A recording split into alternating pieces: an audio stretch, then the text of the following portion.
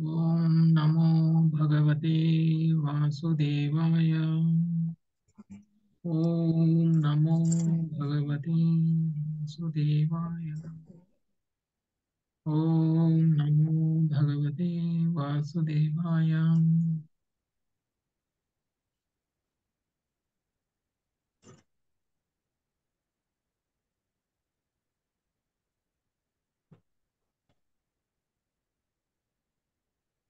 హరే కృష్ణ అందరికీ వెల్కమ్ అండి. సో మనము ఐదవ స్కందం మొదటి అధ్యాయంలో ఉన్నాము. పద్నాలుగు శ్లోకాలు కంప్లీట్ చేసుకున్నాము. సో ఈ పద్నాలుగు శ్లోకాల్లో కూడా ఏం జరిగింది అని అంటే మొదటి అధ్యాయం. ఈ ఈ స్కందంలో మొదటి అధ్యాయం. సో ఇక్కడ ఏం జరుగుతుంది అని అంటే ప్రచేతసుల యొక్క సమయం కంప్లీట్ అయిపోయిన తర్వాత ఇంకా సమస్త సృష్టిని కూడా పాలించడానికి ఎవరూ లేకపోవడం వల్ల మరి మనువు మనువు యొక్క పుత్రుడైనటువంటి హరే కృష్ణ ప్రభుజీ. ప్రియవ్రతుణ్ణి మనువు యొక్క పుత్రుడైనటువంటి ప్రియవ్రతుణ్ణి సమస్త విశ్వానికి కూడా రాజు కావాలి అనేటువంటిది ఆ, మనువు ప్రార్థించడం అనేటువంటిది జరుగుతుంది. అయితే ఆయన గంధమాధవ పర్వతం మీద ఆయన తపస్సు చేస్తున్నారు. ఆయన ఆధ్యాత్మిక సాధనలో ఉన్నారు. ఆయన దగ్గరికి ఆయన గురువు అయినటువంటి నారదుడు కూడా వెళ్ళారు. మరి మనువు రిక్వెస్ట్ చేస్తున్నా కానీ వినడం లేదు కాబట్టి గురువు కూడా అక్కడికి వచ్చారు. గురువు ఆల్రెడీ ఇంతకు ముందు ఆధ్యాత్మిక సాధనలో ఉండాలి అనేటువంటి విషయాన్ని చెప్పారు కాబట్టి ఆయన ఆ బ్రహ్మచర్య వ్రతాన్ని చేస్తూ ఆ వివాహం చేసుకోకుండా రాజ్యానికి దూరంగా ఉంటూ ఆయన ఆధ్యాత్మిక సాధనలో ఉన్నారు. భగవత్ భగవంతుడికి దగ్గర అయ్యేటువంటి మార్గంలో ఉన్నారు. భక్తి యోగంలో ఉన్నారు. సో మరి ఇలాంటి పరిస్థితుల్లో మరి ఆపద్ధర్మ పరిస్థితి. సో సమస్త విశ్వాన్ని కూడా పాలించడానికి ఎవరూ లేరు కాబట్టి స్వయంగా బ్రహ్మదేవుడే తన యొక్క కొంతమంది మహర్షులను తీసుకొని ఆయన గంధమాధవ పర్వతానికి రావడం అనేటువంటి జరుగుతుంది. గంధమాధవ పర్వతం మీద ఉన్నటువంటి ఈ యొక్క ముగ్గురు ఏవైతే చర్చ చేస్తున్నారో అక్కడికి బ్రహ్మదేవుడు కూడా వచ్చి ఆ ప్రియవ్రతుడితో మాట్లాడడం అనేటువంటిది జరుగుతుంది. సో ఇప్పుడు మాట్లాడుతూ ఉన్నారు. ప్రియవ్రతుడితో మాట్లాడటం యొక్క ముఖ్య ఉద్దేశం ఏమిటంటే ప్రియవ్రతుడిని గృహస్థ జీవనానికి అంగీకరింపజేయటం ప్రియవ్రతుడిని రాజ్య భారాన్ని స్వీకరించడానికి రెడీ చేయటం అనేటువంటిది బ్రహ్మదేవుడి యొక్క ముఖ్య కర్తవ్యం. అయితే బ్రహ్మదేవుడు ముందుగా చెప్తూ ఏం చెప్తున్నారు అంటే డైరెక్ట్గా నేను ఇప్పుడు నేను ఇక్కడికి ఎందుకు వచ్చాను అని అంటే నువ్వు రాజ్యభారం తీసుకోమని చెప్పడానికి వచ్చాను అనేటువంటి విషయాన్ని డైరెక్ట్గా చెప్పకుండా ఆయన ఏం చెప్తున్నారు అని అంటే మేమందరం కూడా మీ తండ్రి గారైనటువంటి మనువు అయితే ఏ ఇక్కడ ఉన్నటువంటి శుద్ధ భక్తుడు నీ గురువు అయినటువంటి నారదుడు అయితే ఏ నేనైతే మేమందరం కూడా శివుడు కూడా వచ్చారు అక్కడికి. సో పరమశివుడు అయితే మరి మహర్షులైతే మేమందరం కూడా భగవంతుడి యొక్క భక్తులం కాబట్టి భగవంతుడి యొక్క ఆజ్ఞ ప్రకారంగానే మేము కర్మలు చేస్తాము. భగవంతుడు ఏం చేయమని చెప్తే అదే మేము చేస్తాము అనేటువంటి విషయం చెప్పారు. అంటే ఇప్పుడు నేను నీకు చెప్పబోయేటువంటి విషయం భగవంతుడి యొక్క మాటగా నేను నీకు చెప్తున్నాను అనేటువంటి విషయాన్ని తెలియజేశారు అంటే ఇప్పుడు ప్రియవ్రతుడు అనుకోవచ్చు గురువేమో నన్ను గృహస్థాశ్రమంలో ఉండొద్దని చెప్పారు. గురువేమో నన్ను భగవద్ధామానికి వెళ్ళాలి అని అంటే ఇంద్రియ భోగాన్ని దూరంగా ఉంచాలి అనేటువంటి విషయాన్ని చెప్పారు. మరి ఇప్పుడు బ్రహ్మదేవుడు తాత అయినటువంటి బ్రహ్మదేవుడు వచ్చేసి నాకు ఇంద్రియ భోగం చెయ్యి అని చెప్తే మరి దానికి ఏ విధంగా అర్థం చేసుకుంటారు అని చెప్పేసి బ్రహ్మదేవుడు కొంత జ్ఞానబోధ చేయటం అనేటువంటిది చేస్తున్నారు. అంటే నువ్వు చాలా గొప్పవాడివి చాలా భక్తి యోగంలో ఉన్నావు భక్తిలో చాలా అగ్రసురుడైనటువంటి వాడివి నీలాంటి వాడికి ఇంద్రియ భోగాలు అనేటువంటివి వల్ల వచ్చేటువంటి తృప్తి ఏమీ ఉండదు. కానీ ఇక్కడ ఉన్నటువంటి పరిస్థితికి అనుగుణంగా నువ్వు ఇప్పుడు చక్రవర్తి కావాల్సినటువంటి అవసరం ఉంది కాబట్టి నువ్వు చక్రవర్తి అవ్వాలి అనేటువంటి విషయాన్ని చెప్పడం కోసం ముందు నేను భగవంతుడు మాటలే మాట్లాడతాం మేము. భగవంతుడు ఏదైతే చెప్తారో మేము అదే చేస్తాము. అనేటువంటి విషయాన్ని చెప్పడం వల్ల ఏమవుతుంది అంటే ఓకే బ్రహ్మదేవుడు ఏదైనా విషయం చెప్పబోతున్నారు అని అంటే శుద్ధ భక్తుడు కాబట్టి అంతరం నుంచే భగవంతుడితో వాళ్ళు మాట్లాడగలరు కాబట్టి భగవంతుడి యొక్క ఆజ్ఞనే వీళ్ళు పాటిస్తారు కాబట్టి వీళ్ళు ఏదైనా చెప్తే అది భగవంతుడి ఆజ్ఞ అయి ఉంటుంది అనేటువంటి విషయం నమ్మే విధంగా ముందు పరిస్థితిని క్రియేట్ చేస్తున్నారు బ్రహ్మదేవుడు. సో పరిస్థితిని క్రియేట్ చేస్తూ ఏం చెప్తున్నారు అని అంటే ప్రస్తుతం ఉన్నటువంటి జీవితం ఏదైతే ఉందో ప్రస్తుతం ఉన్నటువంటి శరీరం ఏదైతే ఉందో ఈ శరీరం అనేటువంటిది అనుకోకుండా వచ్చినటువంటి శరీరం కాదు. లేదు అని అంటే నీ శక్తి సామర్థ్యాలతో నువ్వు తెచ్చుకున్నటువంటిది కాదు ఇది నీ యొక్క కర్మలకి అనుగుణంగా నీకు ఈ శరీరం అనేటువంటిది రావడం అనేటువంటిది జరిగింది అనేటువంటి విషయం అంటే మనము ఏది పొందినా మనం ఏది చేస్తున్నా భవిష్యత్తులో చేయబోయేటువంటిది ఏదైనా ఉన్నా కానీ అవన్నీ కూడా భగవంతుడి యొక్క ఆజ్ఞ ప్రకారమే జరుగుతాయి అనేటువంటి విషయాన్ని చెప్పారు. మరి భగవంతుడు ఎవరికి పడితే వాళ్ళకి ఏది పడితే అది ఇచ్చేయరు. వాళ్ళకి ఏది అర్హత ఉందో దాని ప్రకారంగానే వాళ్ళకి వస్తుంది. ఏదైతే కర్మలు వాళ్ళు చేశారో ఆ కర్మ ఫలాలకి అనుగుణంగానే ప్రస్తుత జీవితం వస్తుంది. అయితే ఈ ప్రస్తుత జీవితంలో మనకు కర్మఫలాలని అనుభవిస్తూ మన మీద గుణ ప్రభావాలను తెచ్చుకొని గుణ ప్రభావాలకి అనుగుణంగా మన యొక్క ఆలోచనలు మన యొక్క కర్మలు ఉండడం వల్ల భవిష్యత్తులో జన్మలు కూడా మనము దానికి అనుగుణంగానే తీసుకోబోతున్నాం. అయితే ఇవంతా కూడా ప్రీ ప్లాన్డ్ నువ్వు ఇప్పుడు రేపు పొద్దున భవిష్యత్తులో నువ్వు ఒకవేళ గృహస్థ జీవనంలోకి వచ్చి ఆ రాజ్యానికి రాజు అవ్వాలన్నా కానీ భగవంతుడు ఆజ్ఞే. ఎందుకంటే అలానే రాసి ఉంది నీకు. కాబట్టి మేము కూడా భగవంతుడి ఆజ్ఞగానే నీకు తెలియజేస్తున్నాము అనేటువంటి విషయాన్ని ఇక్కడ బ్రహ్మదేవుడు మాట్లాడుతుంది అంటే అనుకోవచ్చు. మరి నేను ఇక్కడికి వెళ్తే కర్మబంధనం అయిపోతాను కదా. కర్మబంధనాల్లోకి వెళ్ళిపోయినట్లు అవుతుంది కదా. నేను ఇప్పుడు కర్మబంధనాల నుంచి దూరంగా ఉన్నాను కదా. నేను చేసేటువంటి ఏ పని కూడా గృహస్థ జీవనానికి సంబంధించింది కాదు కాబట్టి నాకు ఏ పని కూడా నన్ను కర్మబంధనాలలో ఇరికించదు కాబట్టి నేను చాలా చక్కగా ఆధ్యాత్మిక సాధనలో ఉన్నాను కాబట్టి మరి రేపు పొద్దున్న నేను గృహస్థ జీవనంలోకి వెళ్ళిపోతే నాకు కర్మబంధనం అయిపోతుందేమో అనే ప్రమాదం ఉంది కాబట్టి ముందు బ్రహ్మదేవుడు ప్రియవ్రతుణ్ణి నువ్వు చాలా గొప్పవాడివి. నీ అంత గొప్పగా భక్తిలో అగ్రసురులైనటువంటి వ్యక్తులు ఒకవేళ గృహస్థ జీవనంలో ఉన్నా కానీ వాళ్ళు ఆ గృహస్థ జీవనం వల్ల కర్మబంధులు కారు. ఎందుకంటే గృహస్థ జీవనాన్ని కూడా భక్తి యోగంలో నిర్వహిస్తావు నువ్వు. ఆ నమ్మకం మాకుంది అనేటువంటి విషయాన్ని తెలియజేస్తావు సో ఆ విధంగా బ్రహ్మదేవుడు ప్రియవ్రతుడితో మాట్లాడుతున్నారు. ఇంకా ఏం మాట్లాడుతున్నారో పదిహేనవ శ్లోకం నుంచి చూద్దామండి. ఈశాభిసృష్టం హేంగా. ఈశాభిసృష్టం దుఃఖం సుఖం వా గుణకర్మ సంఖ్యాత్ దుఃఖం సుఖం వా గుణకర్మ సంఘాత్ ఆస్థాయ తత్తధ్యదయుక్తనాథ ఆస్థాయ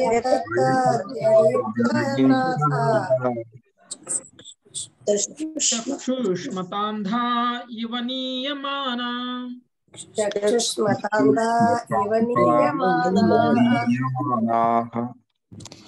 హైమవతి మాతాజీ చదువుతారా హరే కృష్ణ ప్రభు. గొంతు రాలేదు ప్రభు ఓకే మాతాజీ. మంగతాయర్ మాతాజీ చదవండి. మంగతాయర్ మాతాజీ చదవండి. మంగతాయర్ మాతాజీ హరే కృష్ణ. హరే కృష్ణ ప్రభుజీ. ప్రియవ్రత మన గుణ సంపర్కం అనుసరించి ఏ భగవానుడు ప్రత్యేక దేశము నొసగగా సుఖ దుఃఖములను మనం పొందుచుందుము. కనుక మనుజుడు యథాస్థితిలో నిలిచి ఉండి కన్నుల కలవానిచే గుడ్డివాడు నడపబడి చందమున దేవదేవుని ఆధీనము నిలవవలెను. ఓకే సో మామూలుగా మనము చాలా మంది డైరెక్షన్ తీసుకుంటాం చాలా మంది సలహాలు తీసుకుంటాం. సలహాలు తీసుకొని మన జీవితంలో ఏమేమి కర్మలు చేయాలి అనేటువంటివి మనం నిర్ణయించుకుంటాం. ఎందుకంటే కొన్ని కొన్ని విషయాల్లో మనం ఏం చేయాలో మనకు అర్థం కానప్పుడు మనకంటే గొప్ప వాళ్ళు మనకంటే తెలివి గల వాళ్ళు చెప్పినటువంటి సలహాలను పాటిస్తాం. అయితే భౌతికమైనటువంటి కర్మలు చేసినప్పుడు భౌతికమైనటువంటి వ్యక్తుల దగ్గరికి వెళ్ళి సలహాలు తీసుకుంటే ఒక గుడ్డివాడి దగ్గరికి ఇంకొక గుడ్డివాడు వెళ్ళినట్టు. అలా వెళ్ళడం వల్ల ఏమవుతుంది అంటే లౌకికమైనటువంటి సలహాలు ఇచ్చేటువంటి వ్యక్తికి అసలు మనిషి యొక్క ఉత్తమ స్థితి ఏమిటి అనేటువంటిది తెలియదు ఆ ఆత్మ యొక్క ముఖ్య లక్ష్యం ఏమిటి అనేటువంటిది తెలియదు ఆధ్యాత్మిక సాధన వలన వచ్చేటువంటి లాభం ఏమిటో తెలియదు ఒక మనిషికి ఉండాల్సినటువంటి చరమ లక్ష్యం ఏమిటో కూడా తెలియదు అంటే పళ్ళు మూసుకున్నటువంటి వ్యక్తికి దారి కనపడనట్లు లౌకికంగా ఉన్నటువంటి వ్యక్తికి ఆత్మ యొక్క గమ్యం ఏమిటి అనేటువంటిది తెలియదు మరి అలాంటి వ్యక్తి సలహా ఇస్తే ఏమవుతుందండి? గుడ్డివాడు కాబట్టి వాడు వాడు దారి చూపిస్తే ఏమవుతుంది? మనం కూడా గోతిలో పడతాం. వాడు గోతిలో పడతాడు మనము గోతిలో పడతాం. కానీ అలా ఉండకూడదు.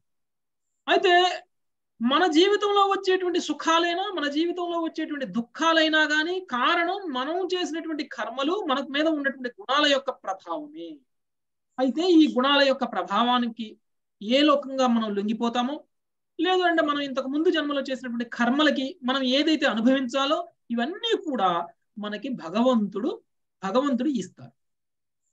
అంటే భగవంతుడు దారి చూపిస్తున్నారు ఒకవేళ నీకు సుఖాన్ని పొందాలి అని దారి చూపించారు అని అంటే సుఖాన్ని పొందు దుఃఖాన్ని పొందాలి అని దారి చూపించారంటే దుఃఖాన్ని పొందు అది భగవంతుడి ఆజ్ఞగా గనక నువ్వు తీసుకుని భగవంతుడు నడిపించినటువంటి మార్గంలో గనక నువ్వు నడిస్తే కళ్ళున్నటువంటి వాడు దారి చూపిస్తే మనం కళ్ళు లేకపోయినా కానీ గమ్యాన్ని చేరుకున్నట్లు ఉంటుంది. సో ఆ విషయాన్ని మనకి ఇక్కడ బ్రహ్మదేవుడు చెప్తున్నారు. కాబట్టి భవిష్యత్తులో నువ్వు ఒకవేళ రాజ్యాన్ని తీసుకోవాలి గృహస్థ జీవనంలోకి వెళ్ళిపోవాలి ఇంద్రియ భోగం చెయ్యాలి అనేటువంటి సుఖం కనుక నీకు నీ కర్మలకి అనుగుణంగా రాసి పెట్టుంటే భగవంతుడు అదే ఇస్తారు నీకు అది తీసుకో అనేటువంటి విషయాన్ని ఇండైరెక్ట్గా చెప్తున్నారు అనమాట డైరెక్ట్గా చెప్పట్లేదు. ఇండైరెక్ట్గా చెప్తున్నారు. అయితే ఇంతకు ముందు అన్నారు కదా మరి నేను చెప్పే ప్రతి మాట కూడా నా సొంతంగా నేను చెప్పను. భగవంతుడు ఏదైతే నాకు ఆజ్ఞాపిస్తారో అదే మాట నేను నీకు చెప్తాను అన్నాడు కాబట్టి ఆల్రెడీ ఇప్పుడు భగ బ్రహ్మదేవుడు మాట్లాడేటువంటి ప్రతి మాట కూడా భగవంతుడు మాట్లాడుతున్న మాటగానే గ్రహించాలి అనేటువంటి విషయం ఫస్ట్ డిక్లేర్ చేసేసారు. మొట్టమొదటి శ్లోకం మాట్లాడినప్పుడే భగవంతుడి ఆజ్ఞ మేరకే మేము కర్మలు చేస్తాము. భగవంతుడు ఏదైతే మాకు ఆ చెయ్యాలి అని చెప్పారో ఏదైతే నాకు నీకు చెప్పమని చెప్పారో అదే నేను నీకు చెప్తాను అనేటువంటి విషయం చెప్పడం వల్ల ఏమైంది అని అంటే బ్రహ్మదేవుడు చెప్పేటువంటి ప్రతి మాట కూడా భగవంతుడు మాట్లాడుతున్నటువంటి మాటగానే పరిగణించాలి. కాబట్టి ఇప్పుడు ఆయన ఇన్స్ట్రక్షన్స్ ఎలా ఇస్తున్నారు చూడండి. సో జరగబోయేది కూడా భగవంతుడే నిర్ణయిస్తున్నారు అనేటువంటి విషయాన్ని తెలియజేశారు. చదువు మాతజీ. ఆ భాష్యము. తన దేహమునకు చెంది ఉన్న సుఖదుఖములు ఎవడను భౌతిక సాధనతో తప్పించుకొన జాలడు ఎనిమిది నాలుగు లక్షల జీవరూపములలో ప్రతి ఒక్క దానికి కొంత మొక్క కొంత మొత్తంలో సుఖదుఖములు రాసిపెట్టి ఉన్నవి. దీనిని మనము మార్చజాలము. ఏల యవ్వాని ఎవ్వాని నిర్ణయం చే మనము ఈ దేహమును పొందితమో ఆ దేవదేవుడే అటు సుఖదుఖములను నిర్ణయించి ఉన్నాడు భగవంతుని ప్రణాళికను యోచనను మనము తప్పించుకొని జాలము. కనుక కన్నులున్న వాని చేత అందుడు నడుపబడినట్లుగా అతని నిర్దేశం నిలుచుట అంగీకరింపవలను. ఎట్టి పరిస్థితి అందేనను భగవంతుడు వసిగిన స్థితి అందే నిలిచి ఉండి అతను ఉపదేశం అనుసరించినచో మనం పూర్ణత్వం పడేయగలము. భగవద్పదేశమును పాటించుటయే జీవితం యొక్క ముఖ్య ప్రయోజనము. అట్టి ఉపదేశమే మనుజుని యొక్క ధర్మము లేదా విద్యుత్ ధర్మము కాగలదు. ఓకే. సో మనకి మరి భగవంతుడు ఎలా ఉండాలి అనేటువంటి విషయాన్ని మరి అప్పుడంటే వాళ్ళకి బ్రహ్మదేవుడు ఉన్నారు బ్రహ్మదేవుడు వచ్చారు చెప్పారు. ఆ ప్రియవ్రతుడికి భగవంతుడికి శుద్ధ భక్తుడు మళ్ళీ అంత గొప్ప వ్యక్తి కాబట్టి మన సమస్త భౌతిక సృష్టిలో కూడా అత్యుత్తమ జీవిగా ఆయన ఉన్నారు. ఆయన వచ్చి వాళ్ళకి సలహా ఇస్తున్నారంటే స్వయంగా భగవానుడితోటే దర్శనం చేసుకోగలిగినటువంటి వ్యక్తి భగవానుడి అంతరం నుంచి ఆయనకి పలుకుతారు. అందుకని ఆయన వేదాలు కూడా ఆ ఆయనకే అప్పచెప్పారు భగవంతుడు. అలాంటి ఒక జ్ఞానం ఉన్నటువంటి వ్యక్తి అలాంటి ఒక శుద్ధ భక్తుడు వీళ్ళకి తాతగా ఉన్నారు వీళ్ళకి వచ్చి చెప్పారు. మరి మనకి ఎవరు చెప్తారు? ఇలా. సో మనకి ఎవరు చెప్పరు కదండి?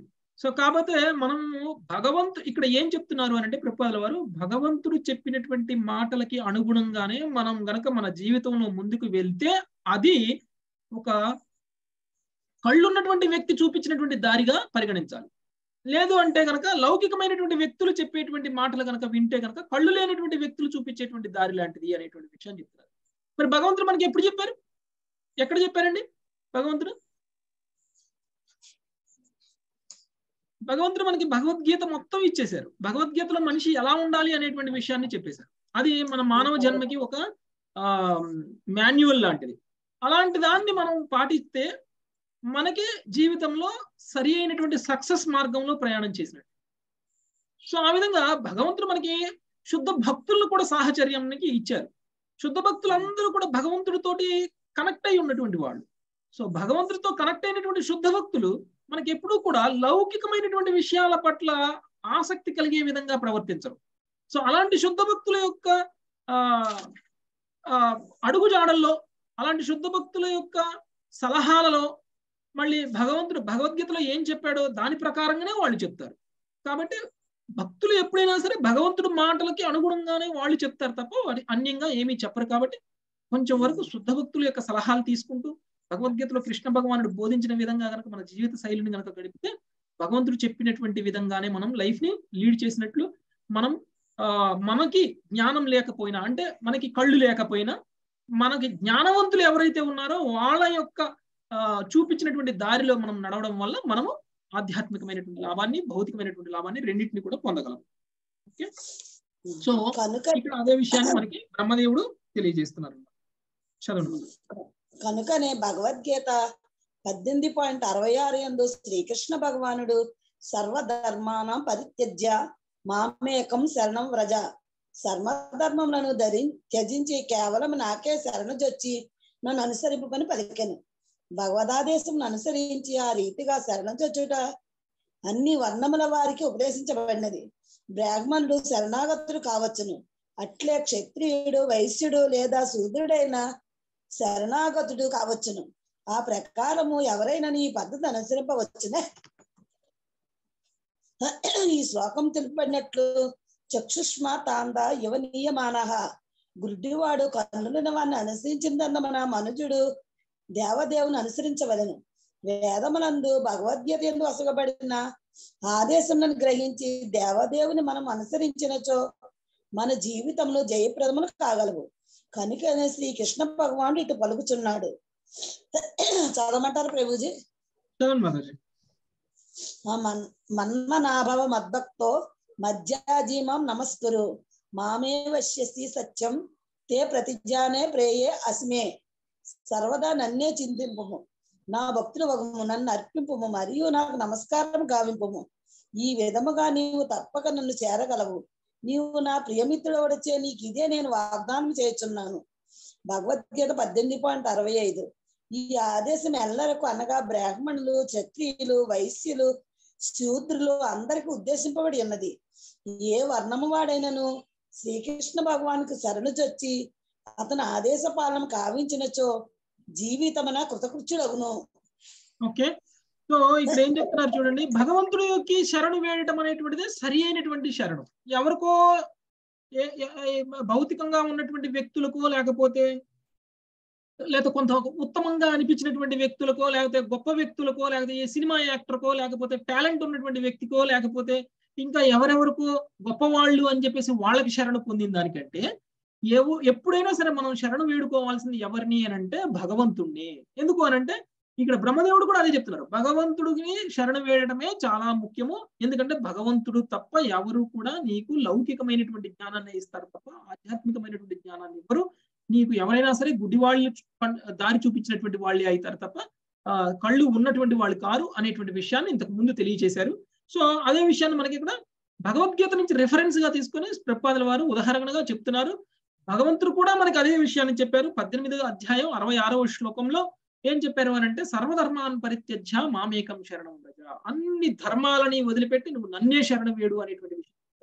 ఇంకో కండిషన్ ఏం చెప్పారు? ఇప్పుడు మామూలుగా మనం ఆధ్యాత్మికంగా పురోగమించాలి అని అంటే మనం ఏదైనా బ్రాహ్మణులు అయి ఉండాలి లేకపోతే వైష్ణవులు అయి ఉండాలి ఉత్తమ భక్తులు అయి ఉండాలి మంచి కుటుంబంలో పుట్టుండాలి ఇలాంటివన్నీ ఉన్నప్పుడు మాత్రమే మనం ఆధ్యాత్మికంగా ఒక అడుగు ముందుకు వేయగలము అని చెప్పేసి మనం అనుకుంటాం. కానీ భగవంతుడు ఏం చెప్తున్నారు భగవద్గీతలో అని అంటే నువ్వు ఏ కులంలో పుట్టినా ఏ వర్ణం వాడివైనా సరే నువ్వు ఎప్పుడైతే నువ్వు నన్ను శరణం వేడుతావో అప్పుడు నువ్వు బ్రాహ్మణుడివే. బ్రాహ్మణుడిగానే పరిగణించబడతావు. మరి బ్రాహ్మణుడిగా పరిగణించబడతావు అంటే దాని మీనింగ్ ఏమిటి అని అంటే బ్రాహ్మణుడిగా పరిగణించబడతావు అని అంటే ఆధ్యాత్మికంగా ముక్తిని సాధించడానికి అర్హుడివే నువ్వు. అంటే నీ యొక్క ఆ వర్ణంతో కూడా నీకు సంబంధం లేదు నీ పుట్టుకతోటి కూడా సంబంధం లేదు. నువ్వు ఇంతకు ముందు చేసినటువంటి పాపాలతో కూడా సంబంధం లేదు.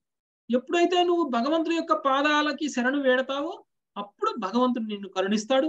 అప్పుడు భగవంతుడు నీకు ముక్తి మార్గానికి తీసుకువెళ్తారు అందుకనే భగవంతుడు పదే పదే పదే పదే మనకి భగవద్గీతలో కూడా ప్రతి విభాగంలోనూ మనకి భక్తికి అంత ప్రాముఖ్యతను తెలియజేస్తూ భగవంతుడు ప్రతిసారి కూడా నాకు శరణ వేడండి నాకు నాకు నాకు అని ప్రత్యేకించి చెప్పడానికి కూడా కారణం అదే. సో ఇంత గట్టిగా భగవద్గీతలో భగవంతుడు చెప్పినటువంటి మాటల్ని మనం ప్రత్యక్షంగా చదివి కూడా భక్తుల ద్వారా విని కూడా మనం అర్థం చేసుకోకుండా ఎవరో మాయావాదులు చెప్పినటువంటి తత్వాలని లేకపోతే వాళ్ళు చెప్పినటువంటి భాష్యాలకి ఆకర్షితులమైపోయి మనకి ఏదైతే గమ్యాన్ని చేర్చేటువంటి జ్ఞానం ఉందో దాన్ని వదిలేసి మనము మనల్ని ఈ భౌతిక లోకంలోనే బంధించే విధంగా జ్ఞానాన్ని మనము పొందాం అందుకనే ఏ దేవీ దేవతని ఆరాధించినా ఏ దేవీ దేవతకి శరణం వేడినా కానీ మనం ఈ భౌతిక లోకంలోనే ఉంటాము. కానీ మనము ఒకవేళ భగవంతుడు గనక శరణం వేడితే మాత్రం మనకి పూర్తిగా ఈ ప్రాబ్లమ్స్ అన్ని సాల్వ్ అయిపోతాయి. మళ్ళీ జన్మ మృత్యువు లేనటువంటి స్థితికి మనము వెళ్తాం. అందుకనే భగవంతుడు మన్మనావహం మద్భక్తో శ్లోకం కూడా మనకి పద్దెనిమిదవ అధ్యాయంలో తెలియజేయడం అనేటువంటి జరిగింది. అరవై ఐదవ శ్లోకం మన్మనావహం మద్భక్తో. సో ఎందుకు తెలియజేశారంటే నువ్వు చెయ్యాల్సిన పనల్లా ఏమిటి అని అంటే నాకు మాత్రమే శరణు వేడు నాకు మాత్రమే భక్తి చెయ్యి నాకు మాత్రమే వందనం చెయ్యి. ఆ విధంగా నువ్వు చేయడం వల్ల నేను నువ్వు ముక్తిని పొందే విధంగా నేను ఆశీర్వదిస్తాను అనేటువంటి విషయాన్ని మనకి తెలియజేశారు సో ఇది భగవంతుడు మనకి ఇస్తున్నటువంటి ఇన్స్ట్రక్షన్ మరి భగవంతుడు ఓన్లీ బ్రహ్మదేవుడి ద్వారా ప్రియవ్రతుడికే చెప్తారా అంటే కాదు. బ్రహ్మదేవుడు మన భగవంతుడు బ్రహ్మదేవుడి ద్వారా ప్రియవ్రతుడికి మాత్రమే చెప్పట్లేదు. భగవద్గీత ద్వారా మనకు కూడా చెప్తున్నారు భగవంతుడు. కాబట్టి మనం ఆ ఇన్స్ట్రక్షన్స్ అన్నిటిని కూడా ఫాలో అవ్వాలి. సో అవి చే- అవి చేస్తూ కనుక గృహస్థ జీవనంలో ఉన్నా కానీ గృహస్థ జీవనం అనేటువంటిది మనల్ని కర్మబంధనాన్ని క్రియేట్ చేయదు. అదే విషయాన్ని బ్రహ్మదేవుడు కూడా ప్రియవ్రతుడికి నువ్వు గృహస్థ జీవనంలో ఉండు కానీ భగవంతుడి యొక్క ఆజ్ఞాను ప్రకారంగా కర్మలు చెయ్యి అనేటువంటి విషయం చెప్పారు చదవండి బండి నడుపు వారి నిర్దేశము. ఎట్లు నడిచెడు ఉపానము కడిచిన శ్లోకము వసగబడినది. బండి నడుపు వాని ఆధీనం అనే పూర్తిగా ఉన్నట్టి ఆ ఎడ్లు అతడు కోరిన చోటికి తీసుకొని పోవచ్చు. ఏది వసితే దాన్ని భుజించి చుండును అదే రీతిగా దేవదేవునికి సంపూర్ణ శరణాగతమై ఉండి మనము సుఖముగా అభిలషించుట గాని దుఃఖమును కుంగుట గాని చేయరాదు. అతడు వసగిన స్థితితోనే మనము సంతృష్టి చెంది ఉండవలెను. భక్తి యోగ పదముని అనుసరించుచు సుఖ దుఃఖములచే అసంతృప్తి గురి కాకుండా నిలవవలని. ఎనభై నాలుగు లక్షల జీవరాశులను కూడినట్టి భగవత్ ప్రణాళికను రజస్తమోగుణయుతులు సాధారణంగా తెలుసుకొని జాలరు కానీ ఆ ప్రణాళికను తెలుసుకుంటకు భక్తి యోగం నెలకొంటకు భగవదేశ భగవద్ ఆదేశములను పాటించుచు పూర్ణత్వ స్థితిని చేరుటకు మానవ జన్మం జీవునకి ఒక విశేషాధికారం నసుగుచున్నది. సమస్త ప్రపంచము గుణ ప్రభావముననే ముఖ్యముగా రజస్తమో గుణములందే పనిచేయుచున్నది. కానీ జనులు శ్రీకృష్ణ భగవాన్ యశస్సుని కీర్తించటయందు వినుటయందు నెలకొనుచుచో వారి జీవితమును జయప్రదములు కాగలము. అంతేకాక వారు అత్యున్నత పూర్ణత్వమును పడేయగలరు. కనుకనే బృహన్ నరాధీయ పురాణమునందు ఇట్లు తెలుపబడినది. హరే నామ హరే నామ హరే నామ. మైవ కేవలం కలో నాస్తేవ్య నాస్తేవ్య నాస్తేవ గతర్నద గతిర్నన్యద. ఈ కలియుగమునందు ఆధ్యాత్మిక పూర్ణత్వం పడేయుటకు హరినామము తప్ప హరినామము తప్ప హరినామము తప్ప అన్య మార్గము వేరొకటి లేనే లేదు లేనే లేదు లేనే లేదు. కనుక పవిత్ర హరినామమును వినడ అవకాశమును ప్రతి ఒక్కరికి వసగవలను. ఎలా అనగా విధముగా మనుజుడు క్రమముగా తన నిజస్థితి నెరగగలిగి సత్వగుణమునకు వరమ నెరవగలిగి సత్వగుణమునకు వరమనట్టి దివ్యస్థితికి చేరగలడు. ఆ విధముగా అతని ప్రగతి పదమున గల అంతరాయములన్నీ తునాతునకలు కాగలవు. కనుక సారాంశం ఏమనగా భగవంతుడు మనకి మనము సంతృష్టి చెంది అతని భక్తి సేవలో నెలకొండ ప్రయత్నించవలను. అంతటా మన జీవితంలో సాఫల్యం చెందగలవు. హరే కృష్ణ ప్రభుజీ. ప్రమాణం ప్రభుజీ. ఓకే. సో భగవంతుడు ఏది మనకి ఇచ్చినా గానీ మన అర్హతకి తగ్గట్టే ఇస్తాడు. మనకు ఉన్నటువంటి పరిస్థితులకి మనము భగవంతుడు మనకి ఇచ్చినటువంటి ప్రసాదంగా స్వీకరించాలి. అంతే తప్ప మనం భగవంతుడిని నిందిస్తే మనకు వచ్చేటువంటి లాభం ఏం లేదు. కొంతమంది వాళ్ళకు ఉన్నటువంటి భౌతికమైనటువంటి ప్రాబ్లమ్స్ని వాళ్ళు తట్టుకోలేక నాకు ఎందుకు భగవంతుడు ఇలాంటివి ఇచ్చారు? భగవంతుడు నా మీద కరుణ ఎందుకు చూపట్లేదు? ఏమీ చేయనటువంటి వాళ్ళకు కూడా చాలా గొప్పగా ఇచ్చాడు. నేను అంటే దాని అర్థం నన్ను చూడట్లేదా భగవంతుడు? లేదు అంటే భగవంతుడు అసలు ఉన్నాడా లేడా? భగవంతుడు నిజంగా కరుణామయుడైతే ఇలా ఎందుకు చేస్తాడు నాకు? ఇలాంటి మాటలన్నీ మాట్లాడతారు. కానీ ఇలాంటి మనం ఇప్పుడు అనుభవిస్తున్నటువంటి సుఖమైనా సరే ఇప్పుడు అనుభవిస్తున్నటువంటి దుఃఖమైనా సరే దానికి కారణం మనమే అనేటువంటి విషయాన్ని మనం మర్చిపోయాం. మర్చిపోవడం వల్ల దానికి భగవంతుడు కారణము అనేటువంటి విషయంతో భగవంతుడి మీదకి నెట్టేసి భగవంతుడిని మనం దూషించడము లేదా భగవంతుడిని నమ్మకుండా ఉండడము అలాంటి విషయాలు చేస్తున్నాం. భగవంతుడు మనకి ఏది అర్హత ఉందో అదే ఇస్తారు. మనం ఇంతకు ముందు జన్మల నుంచి లేకపోతే ఈ జన్మలలో చేసినటువంటి పాపాలకి తప్పులకి లేదా పుణ్యాలకి అనుగుణంగానే మనకి ఇప్పుడు ఇస్తున్నటువంటి ఫలాలు. సో వీటిని మనము కర్మఫలాలు అనేటువంటివి మార్చడం అనేటువంటిది సర్వసామాన్యంగా ఏ దేవీ దేవత కూడా చేయలేదు భగవంతుడు కూడా చేయరు. కానీ భగవంతుడికి కనుక శరణాగతి అయితే భగవంతుడు మన యొక్క కర్మఫలాలను తొలగించేటువంటి ఆ ప్రయత్నం చేస్తారు. అంటే పూర్తిగా ఎవరికి కూడా కర్మఫలాలను తీసేయరు. కానీ కర్మఫలాలు అనుభవించడానికి ఎంతో అనుభవించాల్సినటువంటి దాన్ని కొంచెమే అనుభవించే విధంగా తీసేస్తారు. అలా తీసేయడం అంటే ఇప్పుడు కొంతమంది ఆ గొప్ప ప్రమాదాన్ని ఎదుర్కోవాల్సినటువంటి పరిస్థితి ఉందనుకోండి. అలాంటి వాళ్ళకి ఒకవేళ భక్తుడు అయ్యాడు అనుకోండి సో ఆ ప్రమాదం అనేటువంటిది కళ్ళలో కూడా తీసుకొచ్చి తీసేస్తారు కర్మని. అంటే మన కళలో కూడా ఆ ప్రమాదం వస్తే మన కర్మ పోతుంది. అంటే నిజంగా ఆల్మోస్ట్ మన ఇప్పుడు ఏ శరీరానికి కలిగేటువంటి ఏ సుఖమైనా ఏ దుఃఖమైనా కానీ ఆత్మ ఫీల్ అవ్వాలి దాన్ని. ఆత్మ ఫీల్ అవ్వడం కోసం ఈ శరీరాన్ని ఉపయోగించుకుంది. ఉపయోగించుకొని సుఖాన్నైనా దుఃఖాన్నైనా ఆత్మ ఫీల్ అవుతూ ఉంటుంది అనమాట రేపు పొద్దున నరకానికి వెళ్ళి నరక యాత్రలను అనుభవిస్తున్నా కానీ అప్పుడు కూడా యాత్ర శరీరం ఇవ్వబడుతుంది. యాత్ర శరీరం తోటి మనం ఎన్ని నరకాలు అనుభవిస్తున్నా కానీ అప్పుడు కూడా ఆ శరీరం కాదు వచ్చేటువంటి ఆ బాధ. అప్పుడు కూడా దానికి వచ్చేటువంటి బాధ అది ఆత్మ ఫీల్ అవుతుంటుంది అనమాట ఆ శరీరం ద్వారా ఆత్మ ఫీల్ అవుతుంటుంది అదేవిధంగా కళలో కూడా మనం ఏమైనా భయంకరమైనటువంటి విషయాలను కనుక మనం పొందితే అది కూడా ఆత్మ ఫీల్ అవుతుంది. కాబట్టి భగవంతుడు కొన్ని కొన్ని శరీరానికి కావాలి రావాల్సినటువంటి కష్టాలని కళలో ఇచ్చేసి ఆత్మ అదే విధంగా ఫీల్ అయ్యేలా చేస్తారు. ఎప్పుడు చేస్తారు అలా? అంటే మనం భగవంతుడికి శరణాగతులం అయితే చేస్తాం. అంటే పెద్ద పెద్ద ప్రమాదాలను తప్పించి చిన్న చిన్న ప్రమాదాలుగా కూడా తీసేస్తారు. ఏ విధంగా అయితే ఆ తల్లి ఆ రక్షణలో ఉన్నటువంటి పుత్రుడు ఏదైనా తప్పు చేస్తే ఆ తండ్రి దండించబోతుంటే తల్లి ఏం చేస్తుందండి? తండ్రి వచ్చేసి కొడితే ఎంత పెద్దగా దెబ్బ తగులుతుందో తండ్రి కొడితే కొడుకు ఏడ్చేస్తాడేమో తండ్రి కొడితే కొడుక్కి గాయమవుతుందేమో అని చెప్పేసి తండ్రి కొట్టడానికంటే ముందు తండ్రి కోప్పడడానికంటే ముందే తల్లి కోప్పడిపోతుంది. తల్లి కోప్పడి తండ్రి ముందు కోపపడినట్టు యాక్షన్ చేస్తుంది. అవసరమైతే రెండు దెబ్బలు కూడా వేస్తుంది. చిన్నగా వేస్తుంది. చిన్నగా వేయడం వల్ల ఏంటంటే అప్పుడు ఇంకా తండ్రి ఏమనుకుంటారంటే సర్లే ఆమె కోప్పడింది కదా సర్లే ఆమె దెబ్బలు కొట్టింది కదా ఇంకా నేనెందుకు కోప్పట్టం నేనెందుకు దెబ్బలు కొట్టడం? అయిపోయిందిగా ఇంకా? వాడు చేసిన తప్పుకి వాడికి పనిష్మెంట్ వచ్చింది అనుకుంటారు. ఆ విధంగా మనం భగవంతుడి వెనకాల కనుక నిలబడ్డాం అనుకోండి భగవంతుడికి శరణాగతులం అయ్యాం అనుకోండి మనకు వచ్చినటువంటి మనకు రాబోయేటువంటి ఆ పెద్ద పెద్ద గండాల నుంచి చిన్న చిన్న గండాలుగా మార్చేసి ఈ విధంగా మనల్ని రక్షించడం అనేటువంటిది కూడా జరుగుతుంది. కాబట్టి మన మన లైఫ్లో వచ్చేటువంటి ప్రతి సుఖము ప్రతి దుఃఖము కూడా భగవంతుడు మనకి మనకి ఏదైతే అర్హత ఉందో దాని ప్రకారంగానే మనకి ఇస్తున్నారు అనేటువంటి విషయాన్ని మనము గమనించాలి. అందుకని మనకి భగవంతుడికి శరణాగతి అవడం భక్తి యోగంలో ఉండడం అనేటువంటిది చాలా చాలా ఇంపార్టెంట్ అప్పుడు మాత్రమే మనం రక్షింపబడతాము. ఇతర ఎవరికి శరణాగతులమైనా కానీ మనం రక్షింపబడలేము. భగవంతుడు తప్ప ఎవరు ఎవరికి కూడా శ్రేయోభిలాషులు కారు. చివరికి భార్యాభర్తలైనా లేకపోతే అన్నదమ్ములైనా లేకపోతే తల్లిదండ్రులైనా ఎవరైనా సరే ఎవరికి శ్రేయోభిలాషులు కారు? ఎవరి జీవితం వారిది ఎవరి ఆత్మ ఉద్ధారం వారిది? ఒకళ్ళు చేసినటువంటి పుణ్యం ఇంకొకళ్ళకి రాదు. ఒకళ్ళు చేసినటువంటి ఆధ్యాత్మిక లాభం ఇంకొకళ్ళకి రాదు. మనకి ఏమైనా లాభం రావాలంటే మనంతకు మనంగా పోయి శరణాగతి అవ్వాలి. నా భార్య చేస్తుంది పూజ నాకు వస్తుంది అంటే రాదు. నా భర్త చేస్తున్నాడు పూజ నాకు వస్తుంది అంటే రాదు. ప్రతి ఒక్కళ్ళు పోయి శరణాగతి అవ్వాలి. అప్పుడు మాత్రమే వాళ్ళకి భగవంతుడి రక్షణ ఉంటుంది.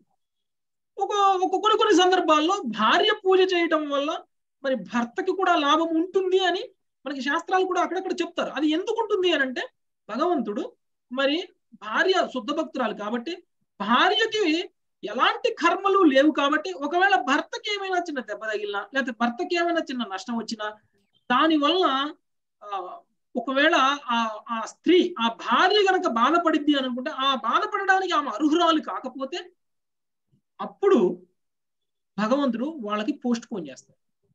ఎలా? ఈ భార్య బాధపడకుండా ఎప్పుడైతే ఉంటుందో ఆయనకి జరిగేటువంటి తప్పుల వల్ల కానీ ఆయనకి జరిగేటువంటి నష్టం వల్ల కానీ ఈ స్త్రీ ఏదైతే భక్తురాలు ఉన్నారో ఆమె గనక బాధపడకుండా ఆమెకి ఎలాంటి రియాక్షన్స్ రాకుండా ఉంటుందో అప్పుడు ఆయనకు మళ్ళీ ఆ పనిష్మెంట్ అనేది వస్తుంది. అంటే రాకుండా అయితే ఎప్పటికీ ఉండదు. ఒకవేళ ఈ భార్య బతికున్నంత కాలం అలాంటి సిచ్యువేషన్ ఉంటుంది అనుకోండి అప్పటి వరకు ఆయనకి రావు అప్పుడు తర్వాత అయినా వస్తాయి. అంటే భార్య పుణ్యం భార్య యొక్క భక్తి అనేటువంటి భర్తని కాపాడటం అనేటువంటిది అది శాశ్వతమైనటువంటి కాపాడటం కాదు. టెంపరీగా రిలీఫ్ మాత్రమే. కానీ మన కర్మలకి అనుగుణంగా ఈ జన్మలో కాకపోతే ఇప్పుడు కాకపోతే తర్వాత అయినా ఈ జన్మలో కాకపోతే మరు జన్మలో అయినా కానీ మనం అనుభవించి తీరాల్సిందే.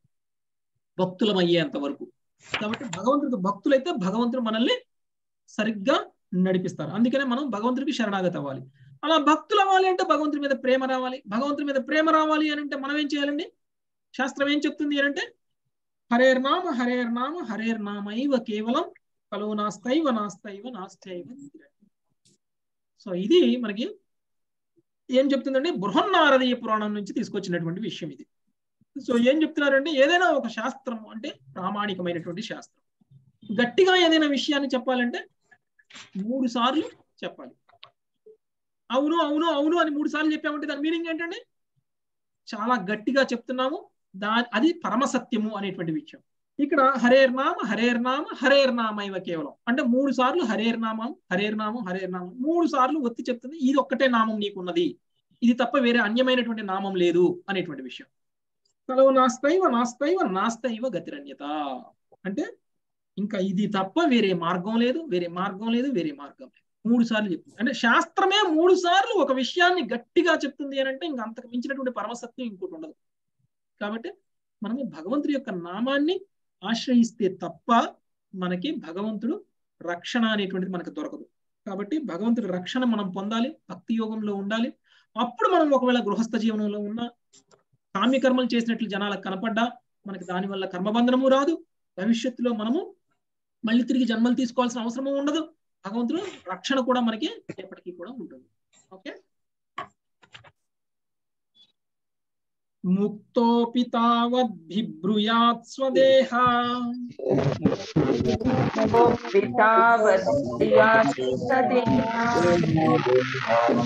తమస్నన్న అభిమాన శూన్య.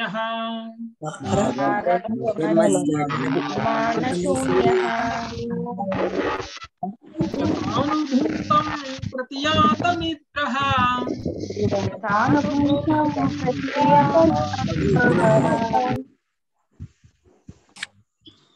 అమృత మాతాజీ మీరు మ్యూట్ చేయండి మాతాజీ. హరే కృష్ణ. ఇంకొక లైన్ ఉంది ప్రభుజీ. లైన్ ఉంది కిం ప్రభు త్వన్యదేహాయ గుణాన్ వృథేన్ ఒక్క నిమిషం మాతాజీ. నేను అమృత మాతాజీ మ్యూట్ చేయమని చెప్పాను ఎందుకంటే వేరే ఎవరికి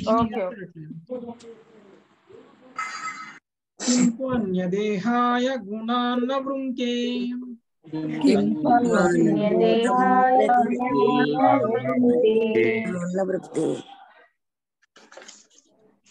सुब्बलक्ष्मी माता जी हाँ, हरे कृष्ण रघुजी धन्यवाद प्रणाम।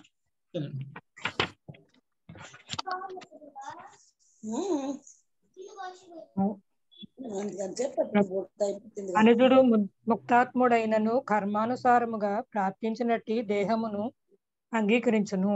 అయినను అతడు మేల్కొన్ మేల్ మేల్కాంచిన వాడు నిద్రయందు కలిగిన స్వప్నములను చూచెడి రీతిగా కర్మానుసారముగా తనకు కలిగిన సుఖ దుఃఖములను అపార్థరహితముగా చూచు చూచును. ఆ విధముగా అతడు నిశ్చల బుద్ధితో నిలిచి ఉండి త్రిగుణ త్రిగుణ ప్రభావమున మరి యొక్క భౌతిక దేహము కలి కల కలుగని విధమున పనిచేయుచుండును హరే కృష్ణ. ఓకే. సో ప్రత్యేకించి ఈ విషయాన్ని ప్రియవ్రతుడికి ఎందుకు తెలియజేస్తున్నారు అని అంటే ప్రియవ్రతుడు కూడా ముక్త స్థితిలో ఉన్నటువంటి వ్యక్తి. అంటే భగవద్ధామానికి వెళ్ళడానికి అర్హత పొందినటువంటి వ్యక్తి. మరి అలాంటి వ్యక్తి అయినా సరే మరి ఎందుకు నేను భౌతికమైనటువంటి కర్మలు చేయాలి? నాకు ఇంకేం బాధ్యతలు ఉంటాయి ముక్తుడు అయినటువంటి వ్యక్తికి ఇంకా భౌతికమైనటువంటి బాధ్యతలు ఏముంటాయి? ఏమి ఉండవు కదా అని చెప్పేసి అనుకునే ప్రమాదం ఉంది అని. నువ్వు ఒకవేళ ముక్త స్థితిలో ఉన్నా సరే నీకు కర్మలు చేయాలి భౌతికంగా భౌతికమైనటువంటి కర్మల్లో నెలకొనాలి అనేటువంటిది నీ యొక్క ఇతర జన్మల యొక్క కర్మల కారణంగా ఒకవేళ ఉంటే అది అంగీకరించాలి అనేటువంటి విషయాన్ని తెలియజేస్తున్నారు అంటే ఇప్పుడు నువ్వు భవిష్యత్తులో నువ్వు రాజ్యాన్ని స్వీకరిస్తే కనుక అది కూడా నీ పూర్వజన్మ కర్మ ఫలాలకి అనుగుణంగానే నువ్వు ఇప్పుడు పొందబోయేటువంటి రాజ్యమైనా పొందబోయేటువంటి గృహస్థ జీవనమైనా అనేటువంటి విషయం చెప్తున్నారు. అంటే ఇప్పుడు నీకు ముక్త స్థితిలో ఉన్నావు. నువ్వు ఇంకా భగవద్ధామానికి వెళ్ళడానికి సిద్ధంగా ఉంది అలాంటి వ్యక్తివైనా సరే మరి ఒక అడుగు వెనక్కేసి మళ్ళీ భౌతిక లోకంలోకి వెళ్ళిపోయి భౌతిక జీవితాన్ని అనుభవిస్తూ మళ్ళీ గృహస్థ జీవనాన్ని అనుభవిస్తూ మళ్ళీ రాజ్యపాలన రాజ్యపాలనా భారాన్ని స్వీకరించి మళ్ళీ కర్మల్లో పడిపోవడం అనేటువంటిది ఆల్మోస్ట్ ఇక ఫైనల్ మెట్టు ఫైనల్ ఎగ్జామ్కి వెళ్ళి ఇంకా మళ్ళీ వెనక్కి తిరిగి వచ్చినట్టు ఎగ్జామ్ రాయకుండా వచ్చినట్టు పరిస్థితి అయిపోయింది. సో అలాంటి ఒకవేళ అది అది చెయ్యకపోతే మళ్ళీ ఇంకొక జన్మ తీసుకోవాల్సి వస్తుంది. ముక్తాకి ముక్తుడు అయ్యి ముక్తుడు అవడానికి అర్హత ఉన్నా కానీ నువ్వు ఒకవేళ ఈ జన్మలో కర్మలు నీకు మిగిలి ఉండి అంటే నీకు కొన్ని కొన్ని బాధ్యతలు ఉండి ఆ బాధ్యతలు కనుక నువ్వు నెరవేర్చకుండా నేను వెళ్ళిపోతే మళ్ళీ ఇంకొక జన్మ తీసుకుని ఆ బాధ్యతలు నెరవేర్చడానికైనా మళ్ళీ రావాలి. కాబట్టి చాలా మంది నేను బలవంతంగా సన్యాసం తీసేసుకుంటాను బలవంతంగా సన్యాసం తీసుకోవడం వల్ల నేను భౌతికంగా విముక్తుడైపోయి నేను భగవద్ధామానికి వెళ్ళగలను అని అనుకుంటారు. కానీ ఏ వ్యక్తికి అయితే బాధ్యతలు ఉంటాయో ఆ వ్యక్తి సన్యాసం తీసుకోకూడదు. బాధ్యతలు లేనటువంటి వ్యక్తి సన్యాసం తీసుకోవాలి. ఆయన మీద ఎవరో ఆధారపడినప్పుడు సన్యాసం తీసుకోవాలి. మన మీద ఎవరైనా ఆధారపడుతున్నప్పుడు మనం సన్యాసం తీసుకోవాలి. దానివల్ల కర్మబంధనమే కలుగుతుంది తప్ప దానివల్ల ఆధ్యాత్మిక పురోగతి అనేటువంటిది జరగదు. కాబట్టి మనము బాధ్యతలను బాధ్యతల్ని వదిలేసి చేసేటువంటిది కాదు భక్తి యోగము అనేటువంటిది అర్థం చేసుకోవాలి. సో బాధ్యతలను సక్రమంగా నిర్వర్తించాలి. కాకపోతే ఎలా తీసుకోవాలి అని అంటే ఇది నాకు భగవంతుడు ఇచ్చినటువంటి కర్మ. ఇది భగవంతుడు నాకు అర్హతకి అనుగుణంగా నాకు ఇలా ఉండాలి అని చెప్పేసి నాకు ఇచ్చారు కాబట్టి నేను ఇది చెయ్యాలి. ఇది నా బాధ్యతగా నేను స్వీకరించి చెయ్యాలి అని చెప్పేసి చేస్తూ భక్తి యోగంలో ఉండి గనక కర్మలు చేస్తే ఆ అంటే భగవంతుని అపార్థం చేసుకోకూడదు. నాకు ఎందుకు ఇచ్చారు ఇప్పుడు ఇది ఈ కర్మ అని అపార్థం చేసుకోకూడదు. భగవంతుడు ఇచ్చారంటే దానికి ఏదో ఒక మీనింగ్ ఉంది. తప్పనిసరి అయి ఇచ్చారు. ఎందుకంటే మనం చేసుకున్నటువంటి కర్మలకి అనుగుణంగా మనకి అది ఇవ్వడం అనేటువంటిది జరుగుతుంది కాబట్టి దాన్ని అపార్థం చేసుకోకుండా స్వీకరించి దాన్ని అంగీ స్వీకరించి దాన్ని నిర్వర్తించడం అనేటువంటిది ఎవరైతే చేస్తారో వాళ్ళు అది కూడా కర్మబంధనం రాకుండా ఉండే విధంగా చేస్తారో వాళ్ళు గొప్ప వాళ్ళు అనేటువంటి విషయాన్ని తెలియజేస్తుంది. అలా చెయ్యాలి. గొప్ప గొప్ప వాళ్ళు కూడా అలానే చేస్తారు అనేటువంటి విషయం చేసి చెప్పారు. అలా చేస్తే ఏమవుతుందంటే నువ్వు ఒకవేళ ఆ కర్మ చేసినా కానీ నువ్వు భౌతిక జగత్తులోనే ఉండి ఆ కర్మ చేసినా కానీ దానివల్ల నీకు ఎలాంటి కర్మబంధనం రాదు అని చెప్తారు చదవండి హరే కృష్ణ ప్రభుజీ. ప్రభుపాదుల వారి భాష్యం ముక్త జీవునికి బద్ధ జీవునికి భేదం అమనగా బద్ధ జీవుడు దేహాత్మ భావనలో ఉండగా ముక్త పురుషుడు తాను దేహమును కాదని దేహమునకు అన్యమైన ఆత్మ స్వరూప్ స్వరూపుడనని ఎరిగి ఉండ ఉండును. బద్ధజీవుడు ప్రకృతి నియమానుసారము బలవంతముగా పనిచేయవలసి వచ్చిన వచ్చుగాక. కానీ ఆధ్యాత్మిక అవగా- అవగాహన ఎందు ఎంతో ప్రగతిని సాధించిన తానెందులకు? అట్టి బంధనములను ఆధ్యాత్మిక ప్రగతిలో అంతరాయములను అంగీకరింపవలనని ప్రియవ్రతుడు తలచి ఉండవచ్చును. ముక్తాత్ములైనను గత కర్మ ఫలములను ప్రస్తుత ప్రస్తుత దేహమున అంగీకరించుటలో రోషపడని పడరని బ్రహ్మదేవుడు అతని సందేహమునకు సమాధానముగా పలికెను. నిద్రించినప్పుడు మనిషి ఎన్నో అవ అవాస్తవిక విషయములను స్వప్నమున గాంచవచ్చును. కానీ మేల్కొని మేల్కొనినంతనే అతడు వానిని మరచి నిజ జీవితమున కొనసాగును. అదే విధముగా ముక్తి పురుషుడు ముక్త పురుషుడు తాను దేహము కాదని ఆత్మస్వరూపుడనని పూర్తిగా అవగతము చేసుకున చేసుకునిన వాడు. అజ్ఞానవశమున జరిగిపోయిన గత కర్మలను విస్మరించి కర్మఫలములను కలుగజేయని విధమున ప్రస్తుత కర్మలను వనరించును. ఇది భగవద్గీత మూడో అధ్యాయము తొమ్మిదో శ్లోకము ఎందు యజ్ఞారాత్ కర్మణ్యోత్ర లోక లోకోయం కర్మబంధన అని వర్ణించబడినది. మనుజుడు యజ్ఞపురుషుడగు శ్రీకృష్ణ భగవానుని ప్రీత్యర్థము కర్మల ననరించినచో అవి కర్మ ఫల కలుగుజేయవు. కానీ కేవలము తమ కొరకే పనిచేసేటి కామ కామ్య కర్మలు కామ్య కర కర్మరతులు మాత్రము తమ కర్మ ఫలములచే బద్దులగుదురు. కనుక ముక్తాత్ముడు గతమునందు అజ్ఞానవశమున జరిగిపోయిన వారిని గూర్చి తలపోయిక కామ్యకర్మలచే మరి యొక్క జన్మము కలుగని కలుగని విధమున పనిచేయుచుండును. ఇది భగవద్గీత పద్నాలుగో అధ్యాయము ఇరవై ఆరో శ్లోకం ముందు ఇట్లు స్పష్టంగా తెలుపబడినది. చదవమంటారా ప్రభు చదవండి చదవండి ఆ, మాతాజీ. ఆ, హరే కృష్ణ ప్రభుజీ. మాం చయో వ్యభిచారేణ భక్తి యోగేన సేవతే.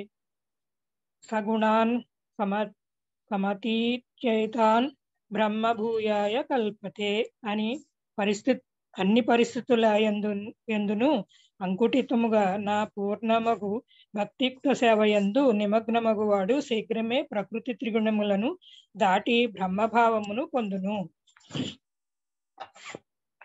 గత జీవితమున ఏమి చేసి ఏమి చేసితమనడి విషయముతో సంబంధము లేక ప్రస్తుతము జన్ జన్మమునందు మనము విశుద్ధ భక్తి యోగమున నెలకొనినచో కర్మ ఫల వర్జితమైన బ్రహ్మభూత అనగా ముక్త స్థితిని ముక్త స్థితి ఎందే నెలకొనగలము. అంతటా మరొక బ్రహ్మ జన్మము పొందవలసిన అవసరము ఉండదు.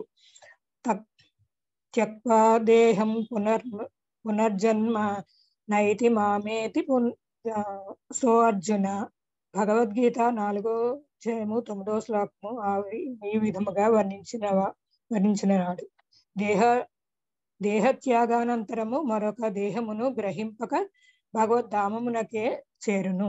హరే కృష్ణ ధన్యవాదాలు సో మరి ప్ర- ప్రియవ్రతుడు ముక్త పురుషుడు కాబట్టి ప్రియవ్రతుడికి ఏమైనా డౌట్ వస్తుందేమో అని చెప్పేసి ఇలాంటిది ఆయన మనసులో ఒకవేళ డౌట్ వచ్చినా రావచ్చు. ముక్త పురుషుడు అయినటువంటి నేను కర్మలు చేయాల్సినటువంటి అవసరం ఏమిటి అనేటువంటి డౌట్ వస్తుందేమని ముందుగానే బ్రహ్మదేవుడు ఆ డౌట్ను కూడా క్లియర్ క్లారిఫై చేసేసారనమాట సో నువ్వు ముక్త పురుషుడు అయినా సరే నీకు భగవంతుడు ఏదైనా కర్మను కనుక అప్పచెప్తే అది చేయాల్సిందే అది తప్పదు అనేటువంటి విషయాన్ని మనకి ఇక్కడ తెలియజేశారు. ఎప్పుడైతే ఆ కర్మల్ని మనము యజ్ఞంలాగా చేస్తామో అంటే మనకి మూడు పాయింట్ తొమ్మిదిలో చెప్పినట్లు భగవద్గీత మూడు పాయింట్ తొమ్మిదిలో యజ్ఞార్థ యజ్ఞార్థ కర్మణో అన్యత్ర లోకాయం కర్మబంధనం. సో అంటే నువ్వు ఎప్పుడైతే కర్మల్ని యజ్ఞంలా చేస్తావో అప్పుడు ఆ కర్మలు నిన్ను కర్మబంధనానికి కలుగు చేయవు. కాబట్టి నువ్వు భగవంతుడి ప్రీత్యర్థం కర్మలు చేయాలి అనేటువంటి విషయాన్ని తెలియజేశారు. సో ఒకవేళ అలా చేయకపోతే కనుక మళ్ళీ మనం మరొక జన్మ తీసుకోవాల్సి ఉంటుంది. ఆ జన్మలో అయినా సరే మనం కర్మలు చేయాల్సి ఉంటుంది. కానీ ఇప్పుడైతే మనం భగవంతుడి ప్రీత్యర్థం కర్మలు చేస్తామో మళ్ళీ ఇంకొక శరీరాన్ని మనం తీసుకోవాల్సినటువంటి అవసరం లేదు అనేటువంటి విషయాన్ని తెలియజేశారు. దానికి కూడా ఒక శ్లోకం భగవద్గీత నాలుగు పాయింట్ తొమ్మిదిలో త్వక్వాదేహం పునర్జన్మ నైతి మామేతి సువార్చున అనేటువంటి శ్లోకంలో కూడా మనకి తెలియజేశారు ఎప్పుడైతే నువ్వు భక్తి యోగంలో ఉండి కర్మలు చేస్తావో నువ్వు శరీరాన్ని వదిలేసిన తర్వాత ఇంకొక శరీరాన్ని నువ్వు తీసుకోవాల్సినటువంటి అవసరం లేదు అనేటువంటి విషయాన్ని మనకి ఆ భగవద్గీతలో కృష్ణ భగవానుడు తెలియజేయడం అనేటువంటిది జరిగింది.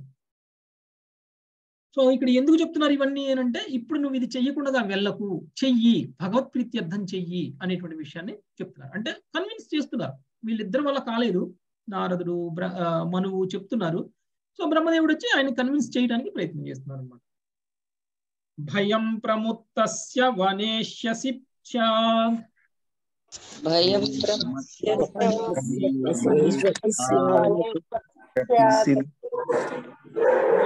सास्ते सह षट् सपत्नः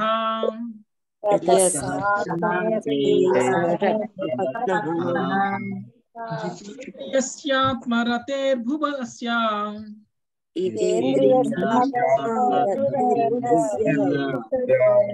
गुहाश्रमः किं नु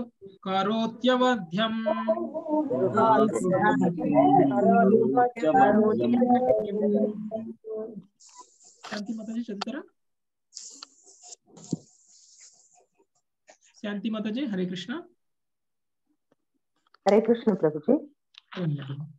ఆత్మ నిగ్రహము లేనివాడు మనస్సు మరియు పంచ జ్ఞానేంద్రియములు అనేది ఆరుగురు భార్యలతో కలిసి జీవించును. కనుక వనమున చేగినను ఎల్లప్పుడూ భౌబంధమును గుర్చి భయపడవలసి వచ్చును. కానీ జితేంద్రియుడు ఆత్మరతుడైన బుద్ధిమంతునికి గృహాశ్రమమైనను అపకారము చేయజాలదు. ఓకే. ఒకవేళ ఆత్మ నిగ్రహం ఉందనుకోండి అంటే కంట్రోల్ పవర్ మనం ఒకవేళ ఆ, ఏదైతే అనుభవించాలి అనుకున్నామో అనుభవించకపోయినా కానీ మనం ఉండగలగడం. లేదు అంటే మన కళ్ళ ముందే ఏదైనా అనుభవించడానికి సిద్ధంగా ఉన్నా కానీ దాన్ని అనుభవించకుండా ఉండగలగడం ఏదైతే ఉందో దాన్ని ఆత్మ నిగ్రహం అంటారు. సో అంటే ఇంద్రియాలు ఆయన్ని ప్రేరేపించకుండా ఇంద్రియార్థాల్లో ఆయన ప్రేరేపించకుండా గనక ఉండగలిగేటువంటి స్థితిలో ఉన్నటువంటి వ్యక్తిని ఆత్మ నిగ్రహం కలిగినటువంటి వ్యక్తి అని అంటారు. అంటే ఇప్పుడు మరి అలా ఆత్మనిగ్రహం కలిగినటువంటి వ్యక్తి గృహస్థ జీవనంలో ఉన్నా కానీ వాడు సాధువే వాడు సన్యాసితో సమానమే. ఆత్మనిగ్రహం లేనటువంటి వ్యక్తి సమస్త భౌతిక సుఖాలని వదిలేసుకొని అరణ్యాలకు వెళ్ళిపోయి సన్యాసిగా ప్రవర్తించినంత మాత్రాన వాడు సన్యాసి కాదు అనేటువంటి విషయాన్ని చెప్తున్నారు. మనకి భగవద్గీతలో కూడా ఇలాంటిది విషయం మనకి కృష్ణుడు ఆ నాలుగో అధ్యాయంలోనో మూడో అధ్యాయంలోనో వస్తుంది. సో ఎవరైతే సాధువుగా యాక్షన్ చేస్తారో అంటే ఆ సన్యాసం తీసుకుంటారో సన్యాసం తీసుకొని కూడా భౌతికమైనటువంటి విషయాల పట్ల ఆలోచనలు చేస్తారు. ఆ అలాంటి వాళ్ళని మిథ్యాచారులు అని అంటారు. ప్రిటెండర్స్ అన్నమాట ఎవరైతే ఆ గృహస్థ జీవనంలోనే ఉంటూ కూడా గృహస్థమైనటువంటి లేకపోతే భౌతికమైనటువంటి విషయాల పట్ల అసంగత్వంతో ఉంటారు. వాళ్ళు సన్యాసులుగా పరిగణించబడతారు. వాళ్ళు నిజమైనటువంటి భక్తులుగా పరిగణించబడతారు. ఇంద్రియాలను కంట్రోల్ చేయకుండా సన్యాసం తీసుకున్నటువంటి వ్యక్తి ఎవరైతే ఉంటారో వాళ్ళు మిథ్యాచారులు అని అంటారు అన్నమాట. అదే విషయాన్ని మనకి ఇక్కడ చెప్తున్నారు. బ్రహ్మదేవుడు నువ్వు ఒకవేళ ఆత్మస్థాయిలో నిలబడి ఉండి ఆత్మ నిగ్రహాన్ని కలిగి ఉండి ఒకవేళ నువ్వు వెళ్ళి గృహస్థ జీవనంలో ఉన్నా కానీ నువ్వు ఇప్పుడు ఉన్నటువంటి స్థితిలోనే ఉంటావు. ఇప్పుడు ఉన్నటువంటి స్థితికి అప్పుడు ఉన్నటువంటి స్థితికి ఏం తేడా ఉండదు. అలా కాకుండా నువ్వు ఇక్కడే ఉండి ఇంద్రియాలను కనుక నువ్వు కంట్రోల్ చేయలేదనుకోండి ఆత్మ కనుక నువ్వు నిగ్రహించలేదనుకోండి అప్పుడు నువ్వు ఇక్కడున్నా కానీ ఏమీ లాభం లేదు. సో ఆ విషయాన్ని తెలియజేస్తారు ఇక్కడ ఎందుకు చెప్తున్నారు ఇది? అని అంటే ప్రియవ్రతుడికి ఆల్రెడీ ఆత్మ నిగ్రహం కలిగినటువంటి వ్యక్తి. ప్రియవ్రతుడు ఆల్రెడీ ఇంద్రియాలన్నింటినీ కూడా నిరోధించాడు. ఆయన గొప్ప భక్తియుత సేవలు చేస్తున్నారు భగవంతుడికి. భక్తి యోగంలో చాలా అడ్వాన్స్డ్గా ఉన్నారు. అలాంటి వ్యక్తి పోయి గౌ గృహస్థ జీవనంలోకి వెళ్ళిపోయాడు అనుకోండి దానివల్ల నీకు వచ్చే నష్టం ఏం లేదు అనేటువంటి విషయాన్ని తెలియజేస్తున్నారు. కానీ ఒకవేళ చేయలేదనుకోండి భగవంతుడి యొక్క ఆజ్ఞను ఉల్లంఘించిన వాడు అయితే భగవంతుడి యొక్క ఆజ్ఞను ఉల్లంఘించడం వల్ల నీకు వచ్చేటువంటి ఆధ్యాత్మిక లాభం ఏమీ లేదు. ఒకవేళ చేసావనుకో నువ్వు భగవంతుడి ఆజ్ఞని అంగీకరించినటువంటి వాడు అవుతావు. దానివల్ల నీకు వచ్చేటువంటి భౌతికమైనటువంటి ఆ సంగత్వం వల్ల నీకు వచ్చేటువంటి నష్టం కూడా ఏం లేదు. ఎందుకంటే నువ్వు ఆల్రెడీ ఆత్మ నిగ్రహ స్థితిలో ఉన్నావు కాబట్టి. అంటే లాజికల్గా చెప్తున్నారనమాట బ్రహ్మదేవుడు. వచ్చే నష్టం ఏం లేదు. చెయ్యకపోతేనే వచ్చే నష్టం ఉంది. చేస్తే వచ్చే నష్టం లేదు అనేటువంటి విషయాన్ని ఇండైరెక్ట్గా బ్రహ్మదేవుడు ప్రియవ్రతుడికి తెలియజేస్తున్నారు. ఓకే కృష్ణ కృపామూర్తి శ్రీల ప్రభుపాదుల వారి భాషము శ్రీల ప్రభుపాదకి గృహే బాబల పేదాకే ఆ గౌరంగ బలేడాకే అని శ్రీల నరోత్తమ దాస ఠాకూరులు గానము చేసిరి. మనిషి అడవిలో ఉన్నప్పటికీ లేదా ఇంటిలో ఉన్నప్పటికీ శ్రీ చైతన్య మహాప్రభువుల వారి భక్తిలో నెలకొన్నచో ముక్త పురుషుడే అగునని దాని భావము. అదే విషయము ఇచ్చట చెప్పబడినది. ఇంద్రియ నిగ్రహము లేనివాడు నామాత్ర యోగిగా అగుటకు అడవికి వెడు వెడలుట అర్ధరహితము అని అనియమితమైన మనస్సు ఇంద్రియములు వెంట కనడి కారణమున అతడు గృహస్థ జీవనమును విడిచి అడవి కేగినను సాధించినది ఏదీనూ ఉండదు. పూర్వకాలమున ఉత్తర భారతదేశమునందలి వ్యాపారస్తులు బెంగాలు దేశమునకు వెళ్ళడివారు నువ్వు బెంగాలుకు వెళితే నీ సంపద నీ వెంటనే వస్తుంది అనే సామెత అందుకే వాడుకలోకి వచ్చినది. కనుక ఇంద్రియ నిగ్రహము మన ప్రథమ కర్తవ్యము. కానీ కృష్ణ భక్తిలో నెలకొన్నదే నెలకొననదే ఇంద్రియములు నిగ్రహింపబడవు. కనుక వాటిని సత్కార్యమున ఆ, నియోగించుట మన అత్యంత ప్రధాన మగ్గు బాధ్యత. కృషికేణ కృషికేశ సేవనం భక్తి రుచ్యతే పవిత్రములైన ఇంద్రియములను శ్రీకృష్ణ భగవాన్ సేవలో నియోగించుటయే భక్తికి అర్థం. చదవమంటారు ప్రభుత్వ ఆ, ఒక్క నిమిషం మాతాజీ. సో సో ఇప్పుడు చెప్పుకున్నటువంటి విషయం ఒకవేళ నువ్వు ఇంద్రియ నిగ్రహం లేకపోతే నువ్వు అడవికి వెళ్ళినా కానీ వచ్చేటువంటి నష్టం ఏమి లేదు అనేటువంటి లాభం ఏమి లేదు అనేటువంటి విషయాన్ని తెలియజేస్తున్నారు. దానికి ఒక సామెత కూడా బెంగాల్ సామెత కూడా ఉంది. నువ్వు బెంగాల్ నుంచి వదిలి వెళ్ళినామా బెంగాల్కి వెళ్ళినా కానీ నీ సంపద నీతోనే వస్తుంది అని అంటే ఇక్కడ సంపద అంటే ఇక్కడ బెంగాల్ అంటే ఒక అరణ్యం. సంపద అంటే ఆయనతోటి వచ్చేటువంటి ఆయనకు ఉన్నటువంటి కోరికలు. సో ఈ కోరికలు నువ్వు ఎక్కడికి వెళ్ళినా కానీ వస్తాయి. నువ్వు గృహస్థ జీవనాన్ని వదిలేసి అడవికి వెళ్ళినా కానీ ఆ కోరికలు నేను వెంటాడుతూనే ఉంటాయి కాబట్టి నువ్వు అలాంటి పరిస్థితుల్లో నువ్వు అడవులకు వెళ్ళడం వల్ల వచ్చేటువంటి లాభం ఏమీ లేదు. అరణ్యాలకు వెళ్ళిపోయి కూర్చున్నంత మాత్రాన నిజంగా సన్యాసి అయిపోవు అనేటువంటి విషయాన్ని తెలియజేస్తున్నారు. అయితే మరి మనం ఎలా ఉండాలి అనేటువంటి విషయం కూడా చెప్తారు. మనకు ఉన్నటువంటి ఆ ఈ యొక్క ఇంద్రియాలని అంటే ఆ ఋషికేశుని యొక్క సేవలో కనుక ఉంచగలిగితే అది నిజమైనటువంటి భక్తి అనేటువంటి విషయాన్ని తెలియజేస్తున్నారు. చదవండి మాత ఇన్- ఇంద్రియములను కూడి వనమునకు వెడలుటకు వదులు ఆ ఇంద్రియములను భగవత్ సేవలో నియుక్తము చేయుట సర్వోత్తమము. నిర్భయము అనుచు బ్రహ్మ ఇచ్చట సూచించను. ఆ విధముగా వర్తించునట్టి ఆత్మ నిగృహునికి గృహస్థాశ్రమమైనను ఎట్టి హాని చేయజాలదు. అది అతనికి బహుబంధము కలిగింపజాలదు. అటువంటి స్థితిని గుర్చి శ్రీల రూపగోస్వామి మరింత ఇట్లు కలిసిరి ఈహాయ హరే హరేభ్యాస్యే కర్మణ మనసా గిరా. నిఖిల స్వప్య జీవ జీవన్ ముక్త సౌచ్యతే పరిస్థితుల్లో నిమిత్తము లేకుండా ఎవడు తన కర్మలను మనస్సును వాక్కును హరిభక్తలో పూర్తిగా నియోగించునో అతన్ని ముక్త పురుషునిగా భావింపవలెను. శ్రీల భక్తి వినోద ఠాకూరులు ఒక బాధ్యతాయుతుడగు అధికారి గృహస్థుడు అయినప్పటికీ శ్రీ చైతన్య మహాప్రభు యొక్క సంకీర్తనోద్యమంను విస్తరి విస్తరింపజేయుటలో కావించినట్టి సేవ అద్వితీయమైనది. ఈ సందర్భమున శ్రీల ప్రబోధానంద సరస్వతి ఠాకూరులు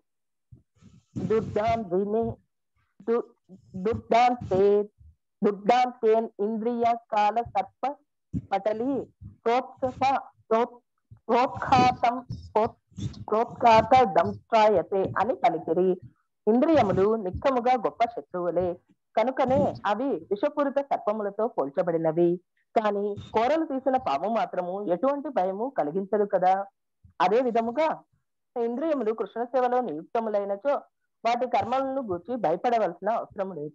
మా కృష్ణ చైతన్య ఉద్యమం నందలి భక్తులు భౌతిక జగత్తులో చరించుచున్నప్పటికీ ఇంద్రియములన్నీను పూర్తిగా కృష్ణ సేవలోనే నిలిచి ఉన్న కారణమున భౌతిక జగత్తు నుండి విడివడియే ఉందురు. వారు సదా దియస్థితిలో నెలకొని ఉందరు. హరే కృష్ణ ప్రభుత్వం okay madam. Thank you so ఇంద్రియాలను కంట్రోల్ చేసుకోలేనటువంటి వ్యక్తి ఏం చేయాలి అనేటువంటి విషయాన్ని ఇక్కడ మనకి తెలియజేస్తుంది. ఒకవేళ నీ ఇంద్రియాలను కనుక కంట్రోల్ చేసుకోలేకపోతే ఆ ఇంద్రియాలని కృష్ణ సేవలో ఉపయోగించు అనేటువంటి విషయాన్ని చెప్తున్నారు. సో ఒకవేళ నువ్వు ఇంద్రియాలను కనుక కృష్ణ సేవలో ఉపయోగించడం వల్ల ఏమవుతుంది అని అంటే ఇంద్రియాల వల్ల వచ్చేటువంటి ప్రమాదం మనకేమీ ఉండదు. అంటే ఇప్పుడు నీకు ఏదైనా చూస్తే తినాలి అనిపించేస్తుంది. చూడగానే తినాలి అనిపిస్తుంది. తిను కానీ దాన్ని కృష్ణుడికి అర్పించి తిను. అప్పుడు ఏమవుతుంది ఆ తినడం వల్ల వచ్చేటువంటి ఏదైతే కర్మఫలాలు ఉంటాయో మనకు అవి రావు. సో కాబట్టి మనము కృష్ణ సేవగా గనక ఏదైనా ఇంద్రియాలతోటి గనక కర్మలు చేస్తే మనము దానివల్ల మనకి కర్మబంధనం కలగదు. అయితే ఇప్పుడు ఇంద్రియాలని మామూలుగా ఆ, ఎలా ప- ఎలా- ఎలా కంపేర్ చేస్తారు అని అంటే విషసర్పాల్లా కంపేర్ చేస్తారు. సో ఎందుకు విషసర్పం అనేటువంటిది ఎప్పుడైనా సరే ప్రమాదకరమైనది.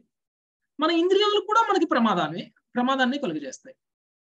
అలా అని మరి ఇంద్రియాలతో చేసేటువంటి పనులు ఆపటం సాధ్యం కాదు. మరి మన కళ్ళు ఉన్నాయి ఏదైనా ఒక అందమైనటువంటి వస్తువు కనిపిస్తే చూడాలనే అనిపిస్తుంది. మరి మనకి చెవులు ఉన్నాయి. ఏదైనా మంచి మ్యూజిక్ వినపడితే వినాలనే అనిపిస్తుంది. ముక్కుతోటి మంచి వాసన దగ్గరలో ఉంటే చూడాలనే అనిపిస్తుంది. అలానే నాలుగుతోటి ఏదైనా రుచి చూడాలి అనిపిస్తే దగ్గరలో మంచి ఆ గుమగుమలాడేటువంటిది ఏమైనా కనిపిస్తే తినాలని అనిపిస్తుంది. మరి అలాంటప్పుడు మరి మరి ఇన్ని రకాలైనటువంటి ఇంద్రియార్థాలు ఓ, ఈ ఇంద్రియాలన్నిటిని కూడా ప్రేరేపితం చేస్తూ ఉంటే మరి ఇంద్రియాలను ఆపుకొని ఆ బలవంతంగా బిగుసుకొని కూర్చోవడం సాధ్యమవుతుందా ఎవరికైనా? సాధ్యం కాదు. కాబట్టి ఇంద్రియాలని కృష్ణ సేవలో ఉపయోగించండి. భగవంతుడికి అర్పించి తినండి. తినాలి అనిపించింది. వాసన చూడాలి అనిపించింది అనుకోండి. భగవంతుడికి అర్పించి వాసన చూడండి. వినాలనిపించింది అనుకోండి. భగవంతుడు యొక్క కీర్తన వినండి. చూడాలనిపించింది అనుకోండి. అందాన్ని చూడాలి. భగవంతుడి యొక్క పాద పద్మాల కంటే అందంగా ఏముంటుంది సో కాబట్టి భగవంతుడి యొక్క పాదాలను చూడండి. భగవంతుడి యొక్క లీలలకు సంబంధించినవి వినండి. సో ఇలా చేయడం వల్ల ఏమవుతుంది అంటే ఇంద్రియాలను మనం ఏమీ స్టాప్ చేయట్లేదు.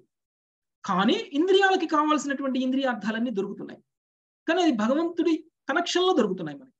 దానివల్ల ఏమవుతుంది అని అంటే ఇంతకు ముందు భౌతికమైనటువంటి విషయాల పట్ల ఆకర్షితులమైన ఇంద్రియాలను ఉపయోగించడం వల్ల అవి విషసర్పాలుగా మన యొక్క ఆత్మని పతనం చేస్తుంటే ఇలా చేయటం వల్ల ఇప్పుడు కూడా అదే విష సర్పాల అంటే కాదు. విషం తీసినటువంటి అంటే కోరలు తీసినటువంటి సర్పాల్లాగా మన ఇంద్రియాలు పనిచేస్తాయి. సో అలా పనిచేయడం వల్ల అవి మనకి బంధనాన్ని క్రియేట్ చేయకుండా పత్తిలో ఉంచుతాయి అనమాట అందుకని ఇంద్రియాలని మనము కృష్ణ సేవలో ఉపయోగించాలి. మనకి రూపగోస్వామి గురించి కూడా చెప్తున్నారు ఇక్కడ ఉదాహరణగా. సో రూపగోస్వామి చాలా భౌతికంగా ఉన్నతమైనటువంటి స్థితిలో ఉన్నటువంటి వాడు. ఆయన మెజిస్ట్రేట్ అంటే ఒక జడ్జి ఆయన ఎక్కడికి వెళ్ళినా సరే కారులు వస్తాయి. ఆయన ఏది మన సెక్యూరిటీ వస్తుంది. జడ్ జడ్ కేటగిరీ సెక్యూరిటీ ఉంటుంది ఆయనకి. గవర్నమెంట్ ఇచ్చినటువంటి సెక్యూరిటీ ఎక్కడికి వెళ్ళినా కానీ ఆయన ప్రభుత్వం ఇచ్చినటువంటి వాహనంలోనే వెళ్ళగలడు. అంత సుఖాలు ఉన్నాయి కానీ వాటిని ఆయనకు ఉన్నటువంటి శక్తిని ఆయనకున్నటువంటి సామర్థ్యాన్ని ఆయనకు ఉన్నటువంటి తెలివితేటల్ని అన్నిటినీ కూడా ఆయన ఏం చేశాడు? చైతన్య మహాప్రభు ఏదైతే ప్రచారం చేయమని చెప్పాడో అది ప్రచారం చేయడంలో ఉపయోగించేశాడు. సో తనకి ఉన్నటువంటి అన్ని రకాల సామర్థ్యాలని కూడా కృష్ణ సేవలోనే ఉపయోగించినట్లు చేశాడు. అలా చేయడం వల్ల ఆయన చాలా గొప్పవాడిగా ఉన్నాడు. అలా ఉండాలి అనేటువంటి విషయం చెప్పారు. ఒకవేళ అలా చేస్తే ఏమవుతుంది అని అంటే కర్మబంధనాన్ని క్రియేట్ చేయదు మళ్ళీ మనము భగవద్ధామానికి వెళ్ళే విధంగానే ముక్త స్థితిలోనే ఉంటాము. కాబట్టి ఇక్కడ ప్రియవృతుడికి ప్రత్యేకించి తెలియజేస్తున్నటువంటి విషయం ఏమిటి అని అంటే నువ్వు కృష్ణ సేవగా నువ్వు బాధ్యతని స్వీకరించు దానివల్ల నీకు ఇప్పుడు ఉన్నటువంటి ఏదైతే స్థితి ఉందో ఆ స్థితి నుంచి నువ్వు ఒక మెట్టు కూడా కిందకి దిగవు అనేటువంటి విషయాన్ని బ్రహ్మదేవుడు తెలియజేస్తున్నాడు. ఓకే? యషత్స పత్నాన్ విజిగీషమానో.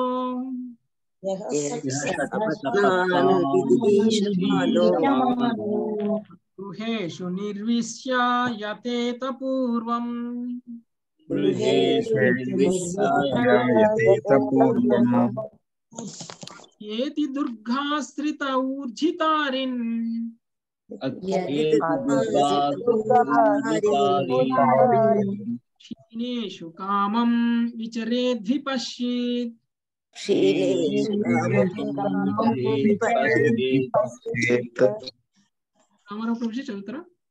ఆ, హరే కృష్ణ ప్రభుజీ.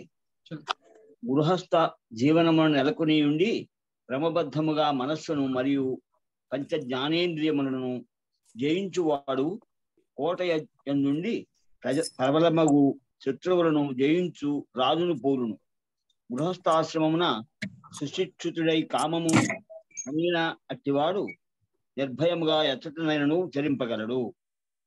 ఓకే. సో మామూలుగా రాజుల శత్రువుల్ని గెలవాలి అని అంటే వాళ్ళు ఏం చేయాలండి? శత్రువుల్ని గెలవడానికి యుద్ధ భూమికి వెళ్ళాలి. అంటే కోటను వదిలేసి వెళ్ళాలి బయటికి. సో కోటను వదిలేసి బయటికి వెళ్ళి వాళ్ళతో ఫైట్ చేసి వాళ్ళని యుద్ధంలో గెలుచుకొని రావడం వంటిది అది ఆ అది ఒక రకమైనటువంటి విజయం. మరి కోటనే దాటకుండా కూడా విజయాన్ని సాధించగలిగితే అది గొప్ప. లేకపోతే కోటని దాటిపోయి యుద్ధం చేసి గెలుచుకొని రావడం గొప్ప. అంటే మనం కోటను దాటి వెళ్ళి వాళ్ళతోటి యుద్ధం చేసి గెలిచేటువంటి ఛాన్సెస్ ఎన్ని ఉంటాయో ఓడిపోయే ఛాన్సులు కూడా అన్నీ ఉంటాయి. అదే కోటను దాటకుండా ఉన్నాం అనుకోండి. కోటను దాటకుండా ఉన్నాము అని అంటే మనకి రక్షణ కూడా చాలా ఎక్కువగా ఉంటుంది. మనము కోటను దాటకుండానే గెలిచేటువంటి విధంగా కనుక మనం కర్మలు చేయగలిగితే అది ఇంకా ఎక్కువ. సో ఇక్కడ ఈ కోటను ఏం చెప్తున్నారు అంటే గృహస్థ జీవనం అని చెప్తున్నారు. గృహస్థ జీవనంలోనే ఉన్నటువంటి వ్యక్తి కూడా ఇంద్రియాలను గెలవచ్చు. అంటే ఇంద్రియాలు శత్రువులు. ఇంద్రియాలు మనకి శత్రువులు. శత్రువుల్ని మనం గెలవాలి. శత్రువుల్ని గెలవడం కోసం గృహస్థ జీవనాన్ని వదిలేసి సన్యాస జీవనంలోకి వెళ్ళిపోయి చేస్తే ఏమిటి అని అంటే కోటను వదిలేసి యుద్ధ భూమికి వెళ్ళి యుద్ధం చేసి గెలిచినటువంటి రాజు లాంటి వాడు. అదే నీకు గృహస్థ జీవనంలోనే ఉండి ఇంద్రియాలను గెలిచినటువంటి వ్యక్తి కోటలోనే ఉండి శత్రువుల్ని గెలిచినట్టు. సో ఆ విధంగా చెప్తున్నారు. అంటే నువ్వు ఇప్పుడు గృహస్థ జీవనంలో ఉండి ఇంద్రియ నిగ్రహంతో కనుక ఉండగలిగితే నువ్వు గృహస్థ జీవనంలో ఉండి కూడా శత్రువుల్ని జయించినట్లే అనేటువంటి విషయాన్ని మనకి తెలియజేస్తున్నారు. చదవండి ప్రభు భాష్యము. నాలుగు వర్ణములను నాలుగు ఆశ్రమములను ఊడినట్టి వైదిక వర్ణాశ్రమ పద్ధతి పరమ శాస్త్రీయమైనది మనుజుడు ఇంద్రియ నిగ్రహమును సాధించినట్టు చేయగలుగుటయే దాని ప్రయోజనం. గృహస్థాశ్రమమున ప్రవేశించుటకు ముందు బ్రహ్మచారి జితేంద్రియుడు అనగా ఇంద్రియమును జయించిన వాడు తగినట్లుగా శిక్షణ కొసగబడును పరిపక్వత సాధించిన వాడే గృహస్థునిగా అగుటకు అనుమతించబడు. ఇంద్రియ జయమునందు తొలుత సుశిక్షితుడైన కారణమున అతడు తపోవనం వేగము తగ్గి తగ్గి రమారమ యాభై ఏళ్ళ వయసును వచ్చినంతనే గృహస్థ జీవనమును విడిచి వానప్రస్థునిగా నగును. మరింత శిక్షణను బడిచిన పిమ్మట అతడు సన్యాసాశ్రమమును స్వీకరించడు అంతటా అతడు విషయ వా- వాంఛలతో చిక్కుబడి చిక్కుబడుటనే భయము లేనివాడై ఎచ్చటనైనను చరించగలిగినంతటి పరిపూర్ణ జ్ఞానవంతుడు వైరాగ్యవంతుడు అగును. ఇంద్రియములు ప్రబల శత్రువులని పరిగణించబడినవి. పటిష్టమగు కోట ఎందున్న రాజు ప్రజల మగు ప్రబల మగు శత్రువులను జయించు రీతి గృహస్థ ఆశ్రమమునందున్న గృహస్థుడు యవనమునందరి కామవేగమును జయించగలిగి వానప్రస్థాశ్రమమును సన్యాసాశ్రమములను స్వీకరించినప్పుడు భద్రంగా ఉన్నది హరే కృష్ణ ప్రభు. ఓకే. సో సో అయితే ఇప్పుడు ఈ యొక్క ఏదైతే ఉందో ఆ, సన్యాసం తీసుకోవాల్సిన అవసరం లేదు గృహస్థ జీవనంలోనే ఉండాలి మన యొక్క బాధ్యతలను నిర్వర్తించాలి అనేటువంటివన్నీ కూడా వర్ణాశ్రమ ధర్మ విధానంకి అనుసరించి చెయ్యాలి. అంతేకాని చెప్పారు కదా ఆ, సన్యాసం తీసుకోవాల్సిన అవసరం లేదు ఇంద్రియ భోగం చెయ్యొచ్చు అని చెప్పేశారు కదా అని చెప్పేసి ఒక వయసు మీరిన తర్వాత కూడా చేయటం అనేటువంటిది అది కరెక్ట్ కాదు. యాభై సంవత్సరాల వయసు దాటిపోయిందంటే ఇంకా గృహస్థ జీవనంలో ఉండాల్సిన అవసరం లేదు. అప్పటికీ కూడా గృహస్థ జీవనంలోనే ఉన్నాడు అని అంటే దాని అర్థం ఏమిటి అంటే ఇంకా ఇంద్రియ భోగం పట్ల ఆసక్తి ఉంది అని అర్థం. కాబట్టి శాస్త్రం వర్ణాశ్రమ ధర్మం ఏం చెప్తుంది అంటే యాభై సంవత్సరాలు దాటినటువంటి వ్యక్తి అంటే బాధ్యతలు పూర్తయినటువంటి వ్యక్తి. తనకి ఇంకేమి బాధ్యత లేవు. తన మీద ఎవరు ఆధారపడి లేరు. ఆధారపడి లేనిటువంటి వ్యక్తి నెక్స్ట్ కర్తవ్యం ఏమిటి అంటే ఆధ్యాత్మిక పురోగతి. అప్పటి వరకు కూడా భక్తి యోగంలోనే ఉండి కర్మలు చేయాలి. అలా చేయటం అనేటువంటిది ఏమిటి అని అంటే ఇప్పుడు గృహస్థ జీవనంలో ఉండి ఇంద్రియాలను గెలిచినటువంటి విధంగా. అంటే కామం మనల్ని జయించకుండా మనమే కామాన్ని జయించే విధంగా మనం యొక్క కర్మల్ని కనుక మనం చేస్తే గృహస్థ జీవనంలో ఉండి కూడా మన శత్రువులు మనల్ని ఏమి చేయని విధంగా మనల్ని మనం రక్షించుకున్నట్టు. అలా ఎంతకాలం అయితే మనము ఈ యొక్క శత్రువుల నుంచి రక్షించబడుతూ మన యొక్క బాధ్యతలను నిర్వర్తిస్తామో మన బాధ్యతలు నిర్వర్తించడం అయిపోయిన తర్వాత అంటే మనకంటే ఇంకేమి బాధ్యతలు మిగలనప్పుడు చాలా ఈజీగా మనము ఈ గృహస్థ జీవనం నుంచి బయటికి వెళ్ళిపోయి వానప్రస్థ జీవనాన్ని స్వీకరించేటువంటి అవకాశం ఉంది. అలా వానప్రస్థ జీవనం స్వీకరించినప్పుడు మళ్ళీ వెనక్కి పీకడం అనేది ఉండదు. అయ్యో నా భార్య ఏం చేస్తుందో? అయ్యో నా పిల్లలు ఏం చేస్తున్నారు? అయ్యో నా మనవాళ్ళు ఏం చేస్తున్నారు? నా మనవరాళ్ళు ఏం చేస్తున్నారు? వాళ్ళు మంచిగా ఉన్నారో లేదో? వాళ్ళు తిన్నారో లేదో? ఇలాంటి ఆలోచనలు రావు అప్పుడు. అదే ఒకవేళ మనం అలా కాకుండా మనం జీవితం మొత్తం లౌకికంగానే ఉండి జీవితం మొత్తం కూడా ఇంద్రియాలకి పట్టుబడి ఉండిపోయి ఇంద్రియాలతోటి మనం ఓడిపోబడినప్పుడు అప్పుడు బలవంతంగా వానప్రస్థం తీసుకున్నా కానీ వానప్రస్థంలో ఉండి కూడా నువ్వు ఇవే ఆలోచిస్తావు కానీ నువ్వు ఆధ్యాత్మికంగా పురోగమించవు. కాబట్టి వానప్రస్థం అనేటువంటిది తప్పనిసరి. వానప్రస్థ జీవనం అనేటువంటిది తప్పనిసరి. కానీ ఇప్పుడు ప్రస్తుత పరిస్థితుల్లో ఏముంది అని అంటే ఒకప్పుడు వైదిక సంస్కృతి ప్రకారంగా శాస్త్రంలో ఇవ్వబడినటువంటి ఉదాహరణలు అనుసరించి చూస్తే వానప్రస్థ జీవితంలో ఉన్నటువంటి వ్యక్తి ఏం చేస్తాడంటే ఇంటికి దూరంగా ఒక పవిత్రమైనటువంటి స్థలానికి వెళ్ళి అక్కడ జీవనాన్ని గడుపుతూ ఉంటాడు. ఎందుకు అనంటే అక్కడ భక్తుల సాంగత్యంలో ఉండి భక్తి సాధన అనేటువంటిది చేస్తూ ఉన్నప్పుడు ఆ కొంతవరకు భౌతికమైనటువంటి విషయాలు గుర్తొచ్చినా కానీ స్లో స్లోగా స్లో స్లోగా స్లో స్లోగా వానప్రస్థంలో ఉన్నటువంటి వ్యక్తికి ఆ గృహస్థ జీవనంలో ఉన్నటువంటి గుర్తులు లేకపోతే భార్య వాళ్ళ భార్యతోటి పిల్లలతోటి ఉన్నటువంటి మెమరీస్ పోయేంత వరకు వాడు వానప్రస్థ జీవనంలో ఉంటాడు. ఆ మెమరీస్ పోయిన తర్వాత ఇక ఇంకా ఎప్పటికీ ఇంకా ఆయనకి గుర్తు రావట్లేదు అనుకోండి. అంత ఆధ్యాత్మికంగా పురోగమించేశారు అనుకోండి అప్పుడు ఆయన సన్యాసం తీసుకోవచ్చు. ఆ విధంగా ఆయన సన్యాసం తీసుకోవాలి. అలా మనం వానప్రస్థ జీవనంలోకి వెళ్ళడం యొక్క ముఖ్య ఉద్దేశం అది. కానీ ఇప్పుడు వానప్రస్థం తీసుకోమన్నారు కదా అని చెప్పేసి మనం ఇల్లు వదిలి వెళ్ళిపోతే ఎక్కడికి వెళ్తాం? మనం ఇల్లు వదిలి వెళ్ళిపోయి ఎక్కడికి వెళ్ళినా కానీ మనం అలాంటి స్థితిని పొందగలుగుతామా? ఇప్పుడు ఉన్నటువంటి కలియుగంలో ఇప్పుడు ఉన్నటువంటి జనాల మధ్యలో అలాంటి ఒక స్థితిని మనం పొందగలుగుతామా? ఎప్పటికైనా సరే మళ్ళీ మనకి భార్య పిల్లలు గుర్తు రానటువంటి స్థితి వరకు కూడా మనం వెళ్ళగలిగేటువంటి ఒక వాతావరణం అనేటువంటిది ఎక్కడుంది? ఎక్కడా లేదు. కాబట్టి ప్రస్తుతం ఉన్నటువంటి యుగంలో వానప్రస్థానికంటే మించినటువంటి ఏమిటి అంటే భక్తి యోగంలోకి రావడం. నువ్వు ఇంట్లోనే ఉన్నా కానీ భగవంతుడి పూజ చెయ్యి.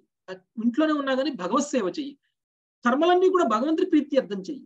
అలా చేసామనుకోండి వానప్రస్థ జీవనంలో పొందాల్సినటువంటి లాభాన్ని పొందు గృహస్థాశ్రమము అనేటువంటిది లేకపోతే వానప్రస్థాశ్రమము అనేటువంటిది అంచెలంచెలుగా మనము ఆధ్యాత్మికంగా పురోగమించడానికి ఉపయోగపడేటువంటి ఆ ఒక ఫ్రేమ్వర్క్. కానీ మనం భక్తి యోగంలో ఉన్నాం అనుకోండి. భక్తి యోగంలో ఉంటే గనక మనకి వానప్రస్థంలో ఈ యొక్క వర్ణాశ్రమ విధానంలో మనం పొందేటువంటి అంచెలంచెల లాభం ఏదైతే ఉందో ఆ లాభాన్ని మనము ఒక్కసారి పొందొచ్చు.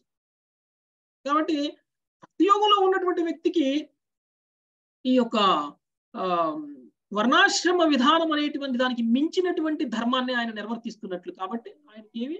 వర్ణాశ్రమ ధర్మ విధానం లేదు. కాబట్టి మనము గృహస్థ జీవనంలో ఉన్నా కానీ మనం సన్యాస జీవనాన్ని గడిపిన విధంగా ఏ విధంగా అయితే ఆ కొంతమంది రాజులు ఆ జనక మహారాజు ఏ విధంగా ఉన్నారండి?